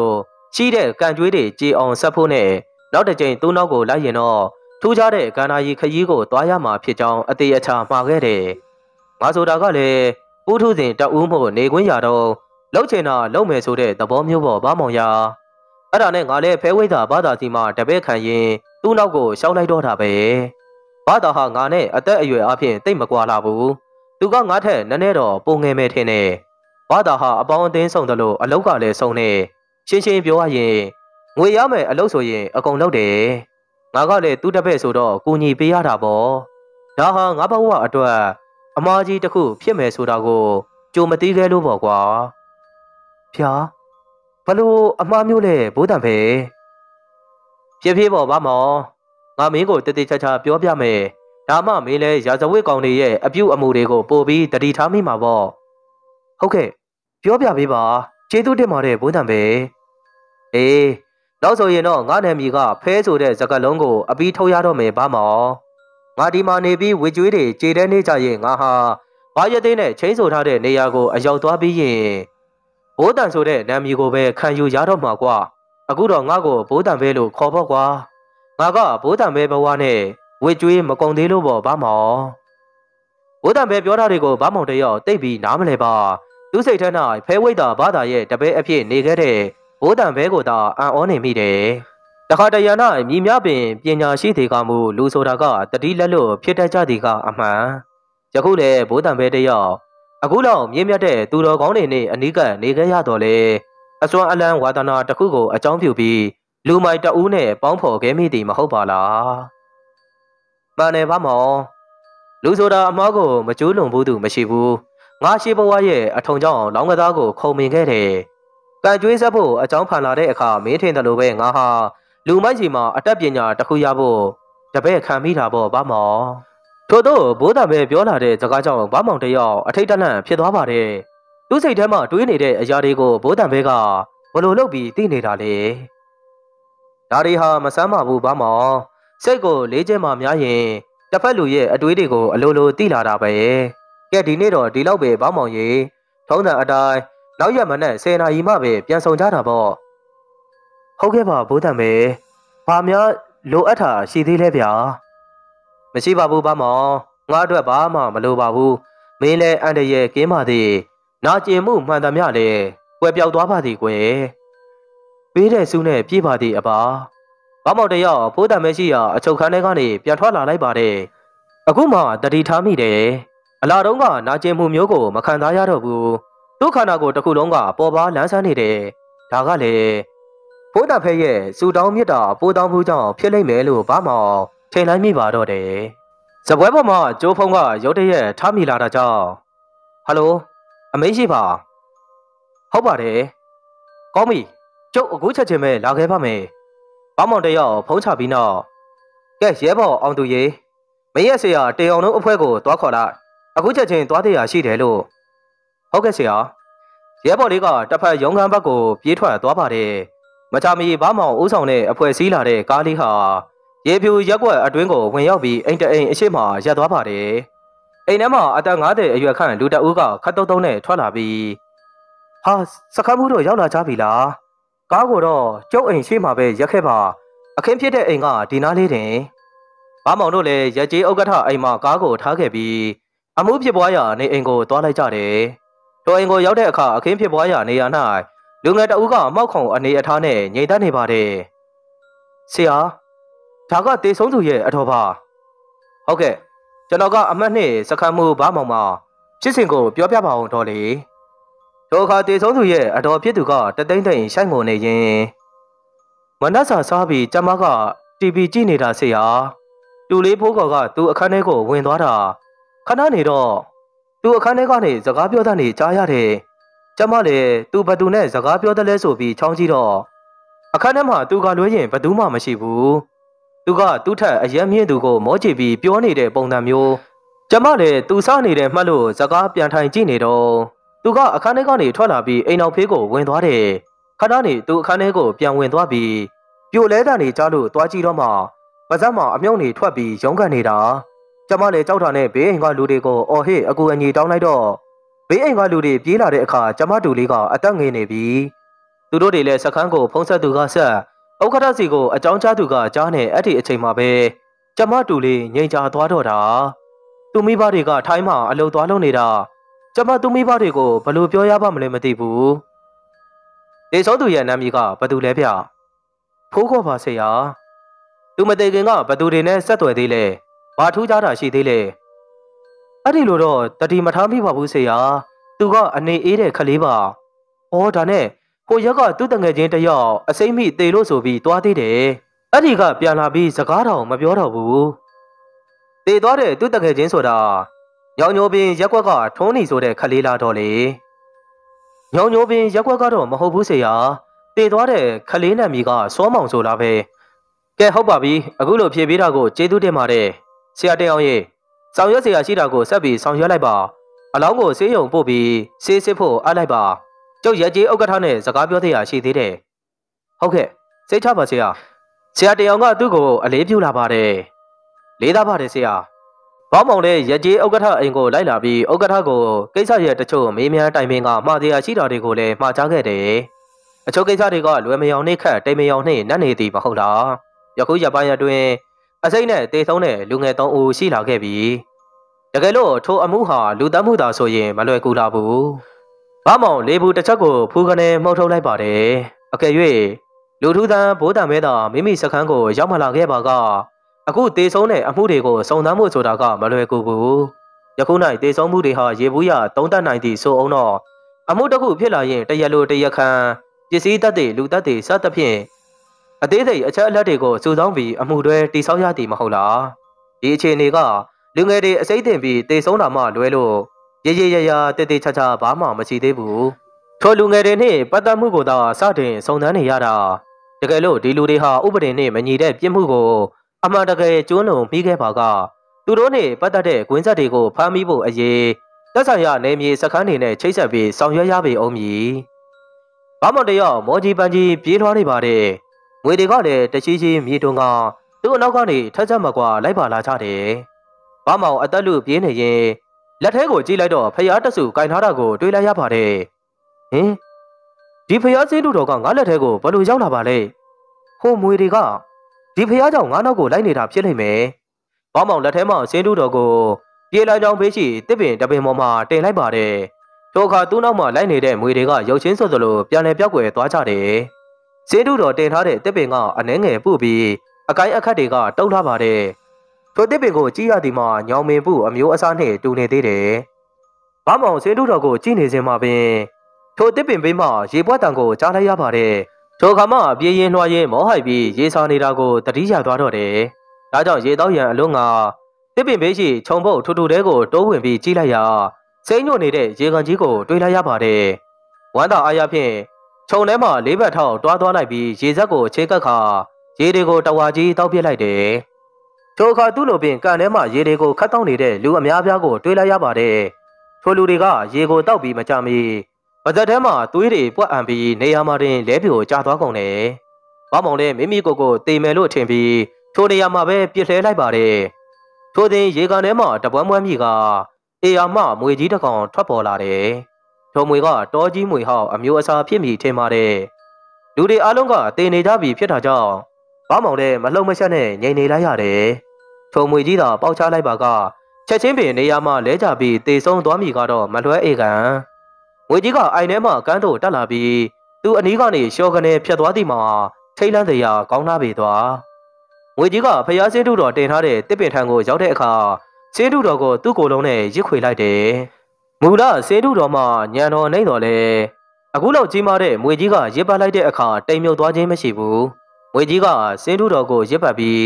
သူ့ရဲ့ပပြင်းကြီးနဲ့စင်းတုတော်ရဲ့အပေါ်ပိုင်းကိုအုံမိုးကငိန်ထနေပါတယ်။ဘာမောင်နဲ့တွေးရသည်မှကြည်ညိုလွန်းသဖြင့်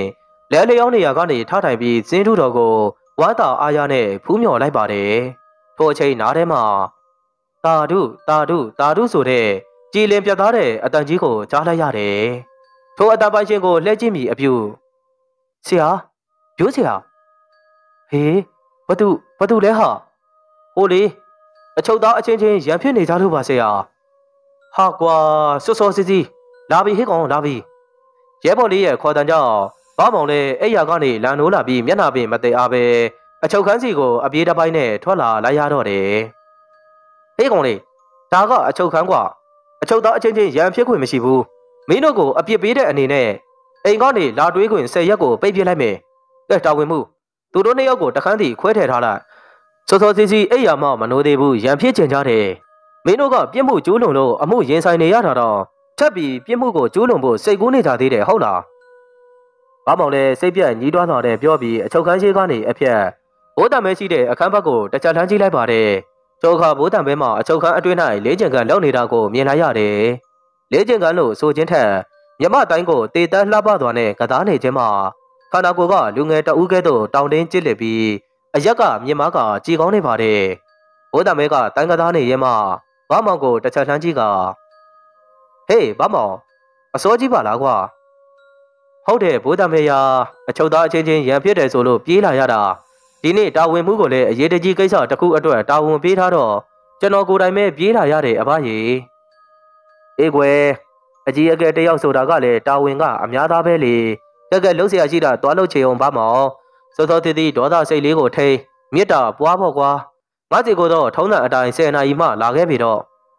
ထိုအခါမှသူကိုယ်တိုင်မျက်နှာမသေးရသေးတာကိုတတိရသွားသလိုထူးဆန်းတဲ့အိမ်မက်ကိုလည်းပြန်လဲမြင်ရောက်လာပါတယ်အိမ်မက်ထဲမှာတပ်ပယ်လာတဲ့စင်းထုတော်ကိုပြန်လဲမြင်ရောက်ပြီးအလိုလိုကြက်တီးထားမိသွားပါတော့တယ်မနက်လေးနာရီဗမောင်တယောက်အလုံးရှုံနေပါတဲ့ စုံတန်းရန်လိုအပ်တာတွေကိုညှို့ချနေရတဲ့အခုတလောခိုးဆိုလူရဲမှုတွေကလည်းမကြောက်ခဏဖြစ်တတ်တာမို့နေတိုင်းတွေကိုမိမိနေမြေအတွင်းမှာဒုသရိုက်မှုတွေမဖြစ်စေဖို့တတိချာချာစောင့်ကြည့်ခိုင်းထားရတယ်အရေးကြီးတဲ့အမှုတွဲတွေကိုလည်းတတိချာချာစီစဉ်ရသေးတယ်ဆရာဆယ်နာရီမတင်းရှိပါပြီဆရာကတတိပေးပါဆိုလို့အော်အေးအေးကျေးဇူးပဲကွာမင်းကိုမှားထားလို့သာပဲမဟုတ်ရင်ငါကိုယ်တိုင်မေးတော့မလို့ဩဒါနဲ့ဆရာတေအောက်ကိုတစ်ချက်လွှတ်လိုက်ရော သူကင်တဲ့အမှုတွဲကိုတတိချာချာပြန်စစ်ခိုင်းရမယ်ဟုတ်ကဲ့ပါဆရာလူရဲအုပ်တင်အောင်ရောက်လာတာနဲ့လိုအပ်တာတွေကိုမှားကြပြီးအချုပ်ခန်းဘက်ကိုထွက်လာလိုက်တယ်အချုပ်ခန်းရှိကိုရောက်တဲ့အခါဘိုးတံဘဲကထုံးတန်အတိုင်းတမင်ခွေထိုင်ပြီးငိမ့်တန်းနေပါတယ်လာကွာဗမောင်အလုပ်တွေအားရလားနောက်ရက်များမှာအလုံးမအားရင်လည်းမလာပါနဲ့ကွာငါကအရေးမကြီးပါဘူးသူလဲတာဝန်ကျဝန်ထမ်းလေးဖွင့်ပေးတဲ့အချုပ်ခန်းတကားအောက်ကိုငေါ့ဝင်လိုက်ပြီးနောက်အားပါတယ်အဘရဲ့ ဖြစ်နိုင်ရင်ဘာအလုံးမှမလုပ်ပဲအဘနဲ့တနေကုန်ထိုင်ပြီးစကားတွေပြောချင်တာတခါတလေရဲအလုပ်ကိုလည်းညီးငွေးတယ်လာသာလေးရဖို့ရတဝေသားတွေကိုဖမ်းလိုက်ထိန်းလိုက်နဲ့ငရဲသားနဲ့တောင်တူလာနေပြီထင်မိတယ်ဟေးမင်းကငရဲပြီကိုရောက်ဖူးလို့လားဘာမောင်ငရဲပြီတော့ဘလို့လို့ရောက်ဖူးပါမလဲအဘရဲ့ဒေတာလို့လားဘာမောင်တို့တွေကျင်းလဲခဲ့ဘူးတဲ့ဘဝတွေထဲမှာငရဲပြီမရောက်ဖူးတဲ့သူဆိုတာမရှိပါဘူးကွာ ဒီဘဝဒီခန္ဓာနဲ့သာမရောက်ဘူးတာအပယ်လေးပုံဟာငါတို့တွေရဲ့အိမ်မဲလေတန်ကောင်းလို့လို့သာလူဘဝကိုရောက်လာတာ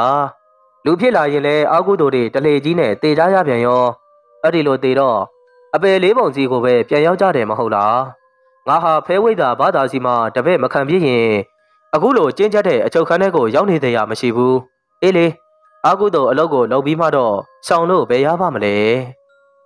ဒါနဲ့လေ အဘကဘာအပြစ်လုံးပြီလို့လဲဒီလိုကွာဘာမောင်ရငါကပူးထုစင်ကိုအဲ့ဒီတော့လူမိုက်တွေကြားထဲမှာကိုတိကိုတက်တဲ့ပညာလေးကိုမခံကျင်သိမ့်နဲ့ထုတ်ကြွားခဲ့မိတယ်လေငါကတော့တွေကိုဖွင့်နိုင်တဲ့တောဝိဇ္ဇာဆိုပါတော့ကွာသူတို့ရှိမှတော့တော့တွေကိုကျေနန်းချောင်းလေးတစ်ချောင်းနဲ့ဖွင့်ပြတာပေါ့အဲ့ဒီလိုမပြခင်ကဆိုငါ့ကိုတောက်တူမရလို့သဘောထားပြီးနှိမ်ကြတာကွာငါကတော့တွေကိုဖွင့်တယ်မှန်သေးတော့ ဘာသာဆိုတဲ့ကောင်ကမတူတော့လောဘသားတွေနဲ့ပေါင်းပြီးမကြံစီအထာကိုကြံစီတော့တာပဲသူတို့အဖွဲမှာတနှက်ရှိတယ်ပါမောင်တနေ့ဘာသာစီကိုလူတယောက်ရောက်လာပြီးလုပ်ငန်းတစ်ခုကိုတိုင်ပင်ကြတယ်သူတို့ဟာတကိုးကြီးရှေးဟောင်းဖျားကိုခိုးယူဖို့ပဲအဲ့ဒီရှေးဟောင်းဖျားကိုတန်တကားအစင်းစင်းနဲ့ခတ်ထားတာငါ့ကိုသူတို့ကအဲ့ဒီတကားကိုဖွင့်ဖို့အတင်းအကျပ်ခိုင်းသေးတယ်ငါကလည်းအကြောက်အကန်ငင်းဆန်တယ်ဒါပေမဲ့မရဘူးပါမောင်ဟောဒီနထေနာကအတန်ရာဟာ ငါ့ကိုသူတို့တနတ်တွေနဲ့ရိုက်ထားတဲ့တန်ရာပဲငါ့ကိုမသေးုံတမင်နှိပ်စက်ကြတယ်လေကွာငါလည်းပူးထုစင်ပဲတေမာကိုကြောက်တာပေါ့အထူးသဖြင့်ဘာရသေးနဲ့ပြန်တွေးခွင့်မရမှာကိုတေမာထက်ပိုကြောက်တယ်နောက်ဆုံးငြင်းမရတော့တာမို့ရှေးဟောင်းဖျားပူတော်ထားတဲ့ဇေဒီတဲကတကားကိုငါရောက်အောင်လို့ဖွင့်ပေးခဲ့တယ်ငါ့ကိုသူတို့ကထပ်ပြီးအတုံးချဖို့ချုံနှောင်ထားတယ်ငါလည်းလူလေးထာနဲ့ထွက်ပြေးပြီးတောထဲမှာပဲနေခဲ့တော့တာ ငါလူတွေကိုအတော်ကြောက်သွားတယ်ဘာတော်လို့လူမိုင်မျိုးနဲ့ပေါင်းပြီးလို့ငါအပြစ်ကြီးကိုကျူးလွန်ခဲ့မိတာလေဒါကြောင့်ဗုဒ္ဓက38ဖြာမင်္ဂလာထဲမှာလူမိုက်ဆိုရင်ရှောင်းသွေလွဲဖို့ထိတ်ဆုံးကဟောတာနေလိမ့်မယ်ငါဟာတောထဲမှာနေရင်ဘဘာရက်တဲ့တင်ပြပေးတဲ့ကျင့်တင်တွေကိုလေးကျင့်နေဒါပေမဲ့အခြေအနေကတိုးထက်မလာဘူးဖျားခိုးသူတွေကိုတောဖွင့်ပေးခဲ့တဲ့ငါရဲ့အာကုသိုလ်ကငါ့ကိုခြောက်လှန့်နေဒါကြောင့်ငါက ကိုအပြစ်ကိုကိုပေးဆက်ဖို့ဟောဒီအချုပ်ထဲရောက်လာခဲ့တာပဲဘာမောင်ဟာဗျာအဘကဖွင့်ပေးကြတာမှမဟုတ်ပဲသူတို့ကချင်းချုပ်ပြီးခိုင်းလို့လေငါရဲ့လက်နဲ့ကိုယ်တိုင်ဖွင့်ပေးမိတာကကာယကံပဲလေမင်းတို့မှလည်းစောင့်ဖို့ရှိတယ်မဟုတ်လားမတိနားမလဲ၍ပြစ်မှုအားကျူးလွန်မိသည်ဆိုတော့ဥပဒေကတင့်အားတညာလိမ့်မည်မဟုတ်တဲ့အဲ့ဒါတော့မှန်ပါတယ်အဘဒါပေမဲ့အဘကဘာလို့ ဒီရဲစခန်းမှာလာပြီးအချုပ်ခံရတာလဲအကြောင်းရှိလို့ပေါ့ကွာငါမင်းကိုပြောဘူးခဲ့ပါတယ်ဖះခိုးကိုင်းခေါင်းဆောင်ဟာမင်းအပိုင်နဲ့မြေမှာရှိတယ်ဆိုတာလေသူနဲ့ငါတွေ့ဆုံဖို့ရှိသေးလို့ပေါ့ဗမောင်ရစိတ်ချပါဘိုးတံပဲကျွန်တော်ခတိပေးပါတယ်ရာတဝေသားတွေသာကျွန်တော်အပိုင်နဲ့မြေမှာရှိလို့ကတော့မလွတ်စေရဘူးကျွန်တော်ကိုယ်တိုင်သူတို့ကိုရောက်အောင်လို့ဖမ်းပေးပါမယ်အဖမင်းကိုငါယုံပါတယ်ဗမောင်မင်းဟာလူတော်တယောက်ပါ ဒါပေမဲ့ရန်သူဆိုတာကောက်ကျစ်တယ်မာယာများတယ်ဒါကြောင့်တတိတော်ထားရမယ်ဝရိယစိုက်ရမယ်သူ့ရဲ့ရှေးဘဝအတိတ်ကံကောင်းနေသေးရင်တော့ဘာမှဖြစ်မှာမဟုတ်သေးဘူးအတိတ်ကံညှိုးနွမ်းလာတဲ့တနေ့ကျရင်တော့ဘယင်ကြီးပဲဖြစ်နေပါသေးအကုသိုလ်ကချက်ချင်းကိုအကျိုးပေးလိမ့်မယ်ဗမောင်နေဆိုတာအမြဲတာရုံထုံးတန်မရှိဘူးဒါဟာလောကအနိယာမပဲနောက်ဦးသောအတွေးကိုယ်စီနဲ့ငြိမ်သက်သွားကြပါတယ်ဘိုးတမဲကမြည်တော့သောအကြောင်းအရာတွေကိုတွေးနေမှန်မသိတော့လဲ ဘာမောင်တယောက်ကတော့ရာတဝေသားတွေကိုအမြန်ဖော်ထုတ်ဖမ်းဆီးရေးကိုသာတွေးနေမိပါတော့တယ်နောက်ဦးသားတိတ်ဆိတ်နေရမှဘိုးတမဲကချောင်းတစ်ချက်ဟမ်းလိုက်ပြီးနောက်လူဆိုတာအမားနဲ့မကင်းကြဘူးပေါ့ဘာမောင်ဘုထုစဉ်မှန်သမျှမှားနေအောင်ပါပဲဒါပေမဲ့တန်တရားကိုပါမဲ့အမားမျိုးမဖြစ်ဖို့တော့လိုတယ်ငါဘာဖြစ်လို့ကိုအပြစ်ကိုကိုလာပြီးခံယူရတယ်လဲဆိုတာမင်းလည်းသိပြီးပြီပဲဒါကြောင့်မင်းလုံးเสียရရှိတာတွေဆက်လုပ်ပြီးတော့ဗမောင် နောက်ရက်ကစားလို့မနဲ့10နာရီထိုးရင်လာတွေ့သေးရမလို့တော့ဘူးအရေးကြီးရင်တော့အချိန်မရွေးလာခဲ့ပေါ့ဗမောင်အော်မင်းကိုအရေးကြီးတာမှားရအောင်မယ်မနက်ဖြန်ကစပြီးတားကြီးငါးကြီးတွေကိုရှောင်းပါဖြစ်နိုင်ရင်တားတက်လို့စားပါမင်းရင်ဆိုင်ရမှာကအန်ရရများတဲ့သူတွေပါငါပြောတာကိုတည်တည်ချာချာမှတ်သားပြီးလိုက်နာပါအကျိုးမယုံစေရဘူးနောက်ကြရင်မင်းသဘောပေါက်လာပါလိမ့်မယ်ကဲကဲငါတို့ကြီးပါမောင်သွားလေရခလုံးမထိစူးမညိပဲ ရက်ရွာအကျိုးသာသနာအကျိုးကိုတည်ဖို့နိုင်ပါသေးကွယ်ဟုတ်ကဲ့ဘိုးတံပဲကျွန်တော်ဘိုးတံပဲပြောသမျှကိုလိုက်နာပါမယ်ဒါဆိုကျွန်တော်ကိုခွင့်ပြုပါဦးအေးအေးကောင်းပါပြီပါမောင်ဘာမောင်တရောဘိုးတံပဲစီကနေပြန်လာပြီးနောက်ရောင်ကန်ထဲမှာအလုံးရှုံးနေတဲ့တပွဲပေါ်မှာရှိတဲ့ကျိုးဖုံးကထားမိလာပါတယ်ဟယ်လိုအမင်းရှိပါစကမ်းမှုဘာမောင်စကားပြောနေပါတယ်ဟာရတာပေါ့ဆရာအတူတူပူပေါင်းဆောင်ရွက်တင်တာပေါ့ ဘာမောင်လည်းဖုံးချပြီးနောက်စကမ်းထဲမှာအစီအဝေးတရက်ကိုချက်ချင်းခေါ်ယူလိုက်ပါတယ်ကဲရဲဘော်တို့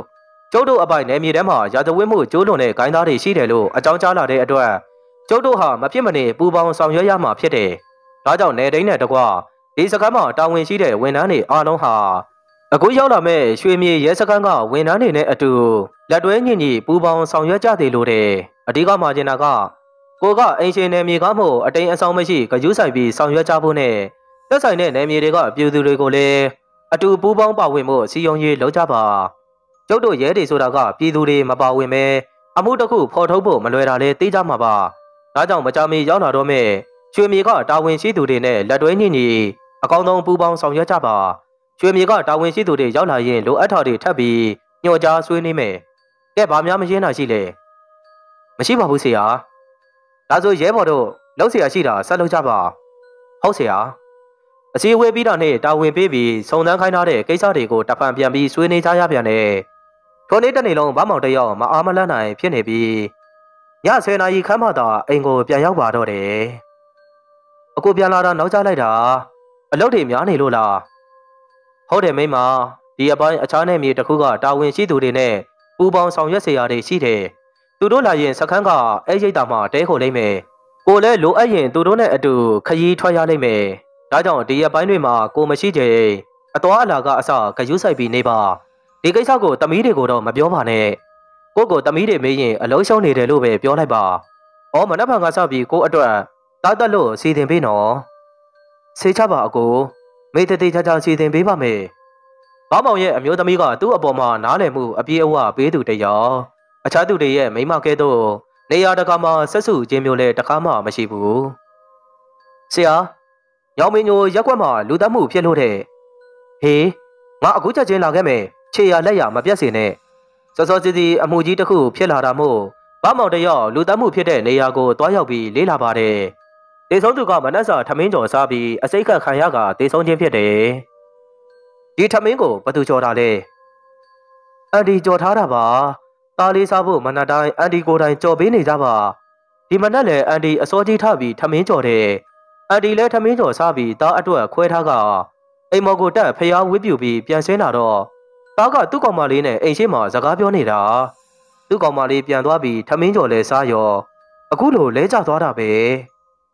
နေပါဦးသူ့ကောင်မလေးကအမြဲတမ်းလာတွေ့တာလားသူ့ကိုဟုတ်တယ်သူကစိန်မျိုးတော်စားတောက်ဆိုင်မှာအလုံးလုံးတယ်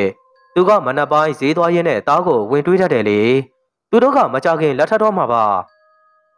သူ့ကောင်မလေးနာမည်ကဘလို့ခေါ်လဲအန်တီနမ်းမြင့်သူတဲ့ဘာမောင်တယောက်ထမင်းကျော်ပကံကိုတည်တည်ချာချာကြီးရှုပြီးနောက်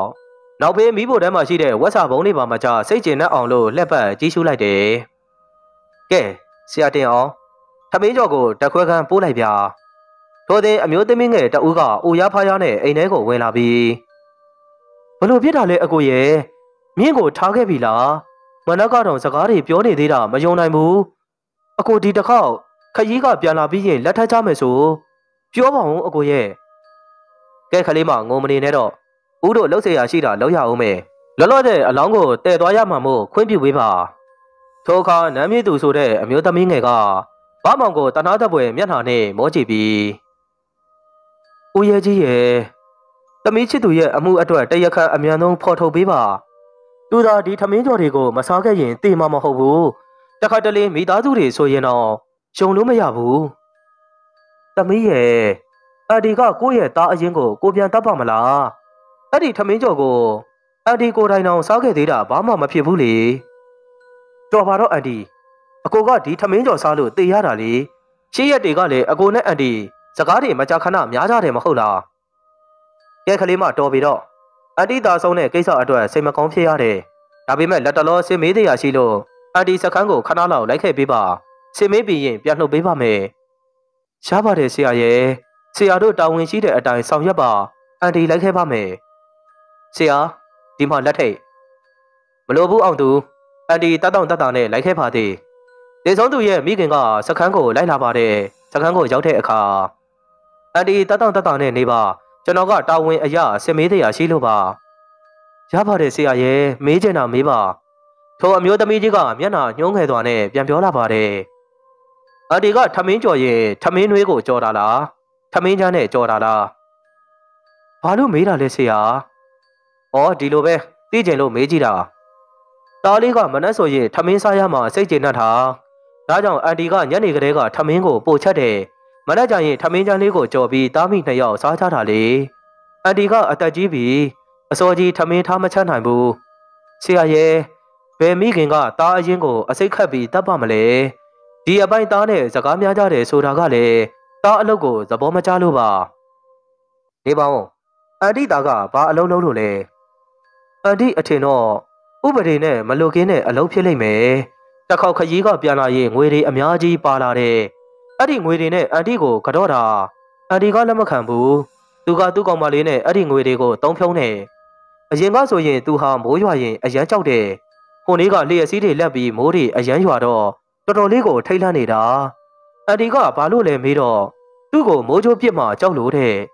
အန်ဒီကလည်းယတနာ၃ပါးကိုစော်ကားမိသူတွေကိုပဲ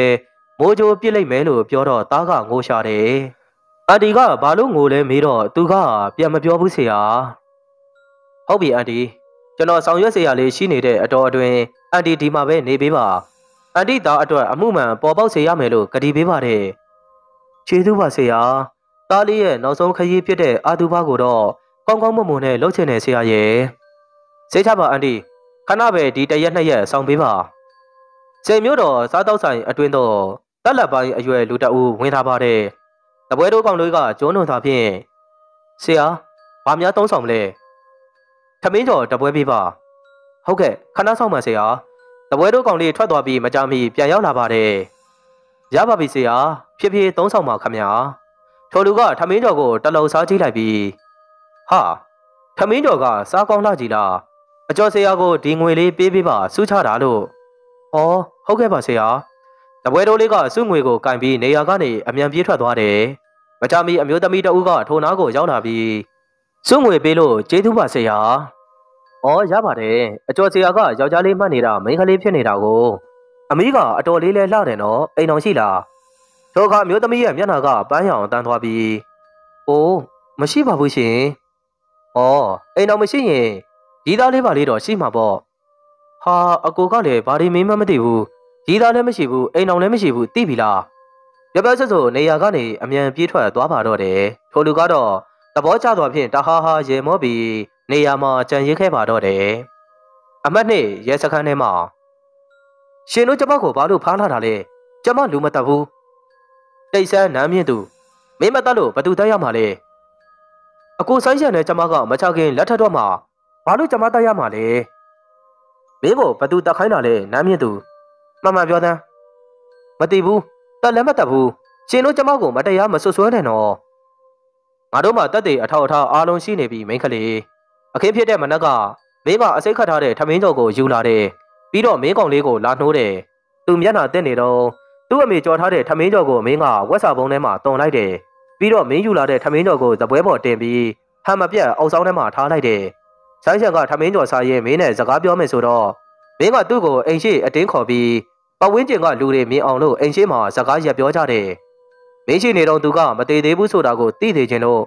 သူလဲတည်ရောသူ့အမေကတတ်တရောင်ပြောတယ်ငါတို့ရဲတွေကိုမျက်စိလဲအောင် သူတို့အိမ်မှာဘသူမှလည်းမရှိရော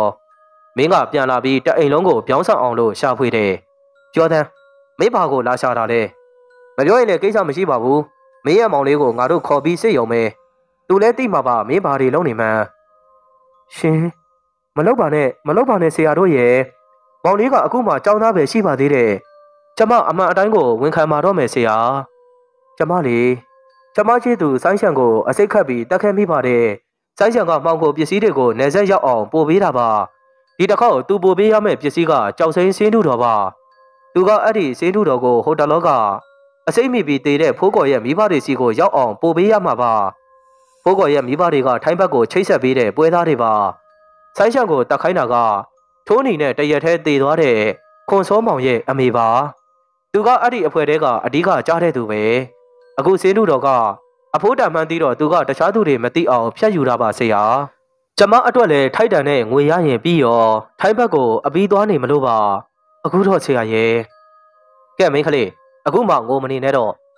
ငွေအတွက်နဲ့လူတက်တဲ့အပြစ်ကိုမင်းခံယူလိုက်ပြီတော့တရားခံအစ်စ်ကိုဖမ်းမိပြီမို့ဆိုင်းရှန်ရဲ့မိခင်ဖြစ်သူကိုပြန်နှုတ်ပေးလိုက်ပါတယ်ကဲဆရာတယောက်ရေနမ်းမြင့်သူဆိုတဲ့မင်းကလေးရဲ့ဝန်ခံချက်အရခွန်စောမောင်ရဲ့အမေဖြစ်သူကိုတွားဖမ်းကြတော့သူ့ကိုတော့တတိထားရမယ် သူ့ကိုမိရင်ဖျားကိုကိုင်းကောင်းဆောင်ကိုဖော်ထုတ်နိုင်မှာပဲဟိုဘက်နယ်မြေကရဲအုပ်အောင်ပိုင်တို့ကိုလည်းအဆက်အသွယ်မပြတ်စေနဲ့ဟုတ်ကဲ့စိတ်ချပါဆရာဘာမောင်တို့အဖွဲ့ခွန်စောမောင်ရဲ့မိခင်ဒေါ်နန်းဘွာကိုရွာဘက်မှာဖမ်းမိကြတယ်ကဲပြောပါဒေါ်နန်းဘွာနန်းမြင့်သူကတော့အကောင်လုံးဝန်ခံပြီးပြီခမည်းဘာလိန်ကျင်သေးလဲဘာမောင်ဘာမောင်နေဟောတော်တော်ကိုအသက်ပြင်းနေရဲပဲနင်းကိုကားနဲ့တိုက်တတ်ထားတော့မသိနိုင်ဘူး နေဟာငါတို့အတွက်တော့တကယ့်ကိုအနှောက်အယှက်ပဲ။အော်ကျုပ်ကိုကားနဲ့တိုက်တက်ခိုင်းတာခမည်းကိုပါဇက်ပိတ်ထားလိုက်တော့ဒေါ်နန်းဘွာခမည်းဟာမိမတမ်းမဲ့အာကုသို့အလုပ်ကိုမကြောက်ဘူးပဲ။ခမည်းကကြောက်စိမ့်စင်းတူတော်ကိုတိတ်ပြီးလိုချင်နေတယ်ဟုတ်လား။ခမည်းရဲ့သားစောမောင်ကတားအရင်မှမဟုတ်တာ။ဒါကြောင့်ခမည်းကစောမောင်ကိုဖျားခိုးကိုင်းထဲမှာလူယုံအဖြစ်ထည့်ပြီးအတုံးချတယ်။ပြီးတော့စောမောင်ကိုတဏှာနဲ့မြူဆွဲတယ်။စောမောင်ဟာဖျားခိုးကိုင်းထဲပါလို့ငယ်တိတ်ကိုမွေပေါက်ပြီးတိတ်ဆုံးခဲ့ရတယ်။ ပြီးတော့ထိုးနေရောပဲအဲ့ဒီရှေးဟောင်းကြောက်စိမ့်ဖျားဟာတိုက်ကဆောင်းတဲ့ဖျားပဲဒါကြောင့်ထိုင်းဘက်ကိုခိုးသွင်းဖို့သူ့မိဘနဲ့ချိတ်ပေးတဲ့ဖိုးကော်လည်းအစိမ့်မိပြီးတည်သွားတယ်ကြုံမှားတာမမှားရင်မကြခင်ခမည်းရဲ့အလှဲ့ပဲ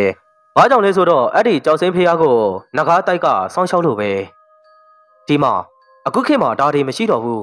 နေ့လိုရဲအစုပ်ပလို့ချင်းချောက်တိုင်းငါကြောက်မယ်လို့မထင်နဲ့ငါမှငွေရှိတယ်ဥပဒေဆိုတာငွေပေးရင်ပြောင်းလဲသွားတာကြီးပဲအမှုကထောင်ချခဲ့ရင်လည်း အယူခံအစစ်စစ်ဝင်လို့ရသေးတယ်ဖျားခိုးတဲ့ကြံရပါအမှုနဲ့တရားစွဲမှလားငါ့ကိုဒါမှမဟုတ်ဆိုင်းရှန်ကိုတခိုင်းတဲ့အမှုလားနေကြိုက်တဲ့ပုံမှတက်လိုက်ငါမကြောက်ဘူးအေးငါပြန်ပြီးလွတ်လာရင်နေလည်းအခုလိုနေရမယ်မထင်နဲ့ဟာဗျာခမရတော်တော်မှရိုင်းနေမိမ့်ပါပဲနေနိုထဲမှာငါလူတွေရှိတာကိုမမေ့ပါနဲ့ဘာမောင်ငါငွေပေးရင်အေးအေးဆေးဆေးပဲမရိုင်းလိုက်တဲ့မိမ့်မကွာ ဘာမောင်တယောက်တောက်တစ်ချက်ကိုခံပြင်းသွားနဲ့ခေါင်းလိုက်မိပါတော့တယ်ဆရာဘာမောင်ကျုပ်တို့နယ်မြေကဖះကိုခိုးသွားတဲ့ဂိုင်းကောင်းဆောင်ကနယ်မြေနှစ်ထဲမှာကျုပ်တို့သွားပြီးဖမ်းချရအောင်ကောင်းပြီလေသွားကြတာပေါ့ဆရာအောင်ပိုင်ရေနယ်မြေနှစ်ခုမှတာဝန်ရှိရဲတွေပူးပေါင်းပြီးပိတ်ဆို့ဖမ်းဆီးကြတဲ့ထိုကိုင်းမှလူတွေကပြန်လည်ခုခံကြတယ်ဆရာတင်အောင်အိမ်ထဲကိုတတိထားပြီးဝင်မှအတင်မယန်းနဲ့သူတပည့်တွေပြောတာသူကအိမ်ထဲမှာပဲရှိလိမ့်မယ်ဟုတ်ကဲ့စိတ်ချပါဆရာ အဲ့ဒီတော့သူတို့အဖွဲ့အိမ်ထဲမှာတတိနဲ့ရှာဖွေကြရာလူရဲအုပ်တင်အောင်ကဗီဒီယိုတစ်ခုကိုတွားပြီးဖွင့်လိုက်ပါတယ်ဆရာတင်အောင်တတိထားပါဘောင်းမောင်ရဲ့အော်တန်ပင်မဆုံးသေးဗီဒီယိုထဲမှာတချေကဆရာတင်အောင်ကိုပိုက်ချလိုက်ပါတယ်ဟာဆရာဘောင်းမောင်ကဲပါကျုပ်ကိုကဲပါဦးဆရာတင်အောင်ရဲ့မျက်နှာကနေသွေးတွေကဖြာကနေဆိုစီးကြလာပါတယ်အဲ့ဒီတော့တနတ်တန်နှစ်ချက်တိုင်းကနေဆင်းထွက်လာပြီးဗီဒီယိုထဲမှာလူလဲတနတ်တန်ရကြောင်းလဲကျသွားတယ် ဆရာဘောင်းမောင်စေးရုံကအမြန်ခေါ်ပါဟာဟိုမှာလူတယောက်ထွက်ပြေးသွားပြီဘောင်းမောင်လဲထိုလူနောက်ကိုပြေးလိုက်ပြီးလုံထွေတပ်ပုတ်ခါဖမ်းသီးလိုက်တယ်ဆရာတင်အောင်ကိုဗီဒီယိုထဲမှာဓားနဲ့ပိုင်းချသူဟာဖျားခိုးဂိုင်းကောင်းဆောင်ဆိုသူဖြစ်ပြီးထိုလူဟာထိုးနီတေဆုံးတင်ကထိုးနီရဲ့မိခင်ကိုငွေပေးခဲ့တဲ့လူလည်းဖြစ်တယ်။ဖမ်းသီးတဲ့ပြန်လဲခုခံတဲ့ဖြင့်ပြစ်ခတ်ဖမ်းသီးရာတနတ်တန်ရာကနှလုံးကိုတက်တဲ့မှန်ပြီးထိုတန်ရာနဲ့နေရာမှာတင်ပွဲချင်းပြီးတေဆုံးသွားပါတယ်။ ရဲအုပ်ဘောင်းမောင်လုံထွေတပ်ပုတ်ဖမ်းသီးရမိသူကတော့ဖဲဝိတ်သာဘာသာဘာသာကိုဘိုးတံပဲချုပ်ထားတဲ့အချုပ်ခန်းထဲမှာထည့်ပြီးဘောင်းမောင်ပြန်ထွက်လာလိုက်ပါတယ်။ဟာဟိကောင်တန်ဖဲဘာသာတယောက်ဘိုးတံပဲကိုတွေးတဲ့အခါအလွန်ကိုအံ့အားသင့်သွားပါတယ်။ဘာမောင်ကဘာသာကိုအချုပ်ထဲထည့်ပြီးနောက်ဆေးရုံကိုအပြေးအလွှာသွားလိုက်ရပြန်တယ်။သူ့ရဲ့လက်တွဲပေါ်လှုပ်ပေါ်ကင်ပတ်ဟောင်းဒူရဲအုပ်တင်အောင်တယောက်အရေးပေါ်အခန်းထဲမှာရောက်နေသည်မဟုတ်ပါလား။ ဒါကြောင့်အရေးပေါ်အခြေအနေကနေလွတ်မြောက်ရန်သာအချိန်ချင်းဆူတောင်းနေမိတော့တယ်။ဘာမောင်တယောက်ထိုနေညကဆေးရုံမှာလူနာဆောင်အဖြစ်စောင့်ပြီးအိပ်ပေးပါတယ်။ဘာမောင်မောင်ဘာမောင်ဟင်ဘိုးတံမေဘာမောင်ဖျားစင်းတို့တော်ကဆိုင်းချန်အိမ်ရဲ့ကားကိုတောင်ထဲမှာလေရှိတဲ့ကားပြီးအကျွတ်ထဲမှာထည့်ထားတယ်။အဲ့ဒီစင်းလူတော်ကိုရွှေမြေရဲစခန်းကစခန်းမှုလက်ထဲကိုအပ်လိုက်ပါ။အဲ့ဒီစခန်းမှုကဖျားကိုသူ့ရဲ့ ငကိုစံပရာနေရာကိုပြန်ပို့ပါလိမ့်မယ်။အဲ့ဒီဖျားဟာရွှေမြေကငကယုံဖျားကြီးရဲ့ဈေးဒီမှာကိန်းဝတ်စံပယ်တဲ့ဖျားပဲ။အော်ဗမောင်ဖဲဝိသာဘာသာကငါ့ကိုမေးခဲ့ရင်မသိဘူးမမြင်ဘူးဘူးလို့သာပြောလိုက်ပါ။ဟုတ်ဟုတ်ကဲ့ပါဘိုးတံပဲ။ငါ့ကိုဘိုးတန်တို့သာခေါ်ပြီးတော့ဘာမောင်ရေငါဝစ်ကြေးတွေကြေးပြီးငါဘာရသေးနဲ့ပြန်တွေးဖို့အချိန်တန်ပြီးငါဖဲကိုဆွဲလန်းတဲ့အဆွဲထာဝရဆွန့်လွှတ်လိုက်ပြီး ငါအကြောင်းကိုမင်းကလွဲရင်အကောင်လုံးမေသွားကြမှာပါကဲလူလေးပါမောင်ကံမကုံရင်ပြန်ဆောင်ကြတာပေါ့ကွာနေနေပါဦးဘိုးတန်ဘာမောင်တရဘိုးတန်ဘဲကိုလှမ်းကင်လိုက်ရာလက်ထဲ၌ဖဲတုံဟောင်းလေးတထုတ်တာပါလာပါတယ်ဘိုးတန်ဘဲကတော့သူ့ကိုကြောက်ခိုင်းပြီးထိုနေရာကနေပြန်လဲထွက်ခွာသွားပါတော့တယ်ဘိုးတန်ဘိုးတန်နေပါဦးဗျဘာမောင်တရဘိုးတန်ဘဲကိုဝမ်းနှဲစွာနဲ့အော်ခေါ်နေမိပါတယ်အဲ့ဒီတော့ သူအဲ့ရကနေပြန်လဲနိုးလာတယ်သူ့မျက်ဝန်းမှာလည်းမျက်ရည်တွေကဆွဆွနေပါတယ်လက်ထဲမှာတော့ဖဲတုပ်ဟောင်းလေးတစ်ခုကိုကြစ်ကြစ်ပေါအောင်စုပ်ကင်ထားမိတယ်ဟင်ဒီဒီဖဲတုပ်ကဒါဆိုရင်ဘိုးတံဘဲတကယ်ပဲလွတ်သွားပြီပေါ့ထိုအကြောင်းကိုတွေးပြီးဗမောင်တယောက်စိတ်မကောင်းဖြစ်နေမိပါတယ်။ဘာသာကတော့ရဲအုပ်ဗမောင်ကိုမြင်တာနဲ့ဆရာမနေ့ကကျုပ်ကိုဒီအချုပ်ခန်းထဲလာဖို့တုန်းကဒီထဲမှာအဖိုးကြီးတယောက်ရှိတယ်မဟုတ်လား။ မရှိပါဘူးဥပဒါခမည်းတယောက်ထဲပါ။ဟာမဟုတ်ဘူးငါမယူဘူးငါတွေးလိုက်တယ်။တန်ဖဲကိုငါတွေးလိုက်တယ်။သူကတစီလားငါမကြောက်ဘူး။လာခဲ့တတိရှိရင်ထွက်လာခဲ့လေ။ဘာသာတယောက်အယူလိုအော်ဟစ်ပြီးကျိမ်းမောင်းနေပါတော့တယ်။လက်ဖေးတိုင်းတဆန်ရဲ့တောင်း၌လူနှစ်ယောက်ထိုင်ပြီးစကားပြောနေတယ်။လူတအူးရဲ့မျက်နှာပေါ်မှာဓာခုတ်ရကြီးကိုတွေးရပါတယ်။အများမြင်မှာတော့ထိုလူဟာလူသိုးတအူးလိုထင်ကောင်းထင်ပေလိမ့်မည်။ ဆရာဘမောင်ကြုံမရှင်းတာရှိလို့မေးချင်တယ်။မေးပါဆရာတင်အောင်။ဆိုင်းချန်အစိတ်ခတ်ခံရပြီးတေဆုံးမှုဟာတရခန်ကနမ်းမြင့်သူလို့ဘာလို့တအပ်သေးခဲ့တာလဲဆရာ။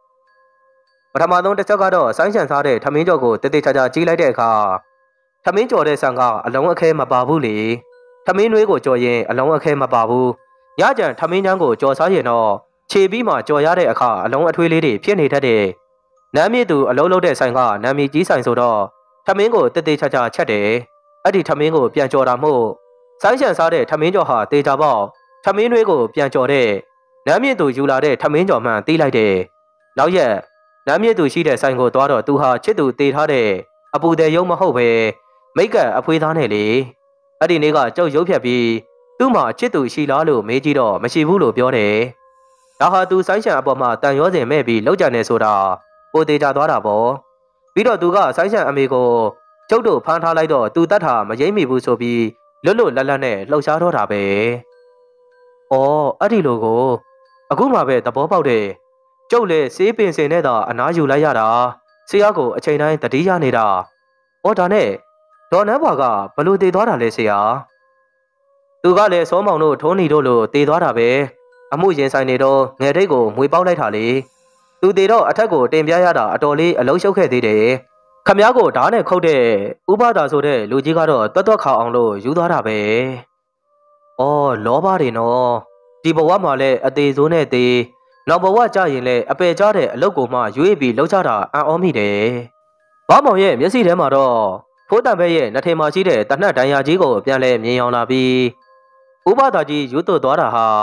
ဘိုးတံဘဲရဲ့ဥကောင်းကိုတနတ်တင်နဲ့ထူးမိလိုက်ခြင်းဖြစ်မယ်လို့ထင်နေမိပါတယ်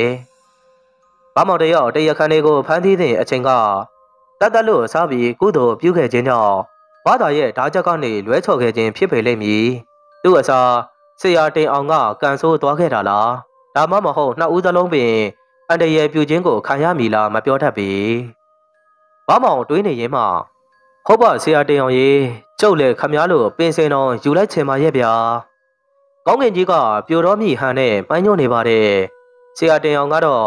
လူထူးသားဘိုးတံပဲအကြောင်းကိုတလုံးတစ်ဖာသားမှမေးမြန်းခြင်းမရှိခဲ့ဘူး။ဆရာတင်အောင်မှမဟုတ်ပါဘူး။မြေသူတအူးတယောက်ကမှဘိုးတံပဲအကြောင်းကိုမမေးပါဘူး။ရုပ်စောအစုံမြို့နယ်မူကြီးကိုတိုင်ပင်ဘိုးတံပဲကိုတတိယပုံပင်မပေါ်။ဘိုးတံပဲပြောတဲ့ကဲ့သို့ငါအကြောင်းကိုမင်းကလွှဲရင်အားလုံးကမေးသွားကြမှာပါဆိုတဲ့စကားအတိုင်းအကုန်လုံးကမေးသွားတာပဲဖြစ်ပေလိမ့်မည်။ မမေးနိုင်တဲ့ဗမောင်တယောက်ကသာ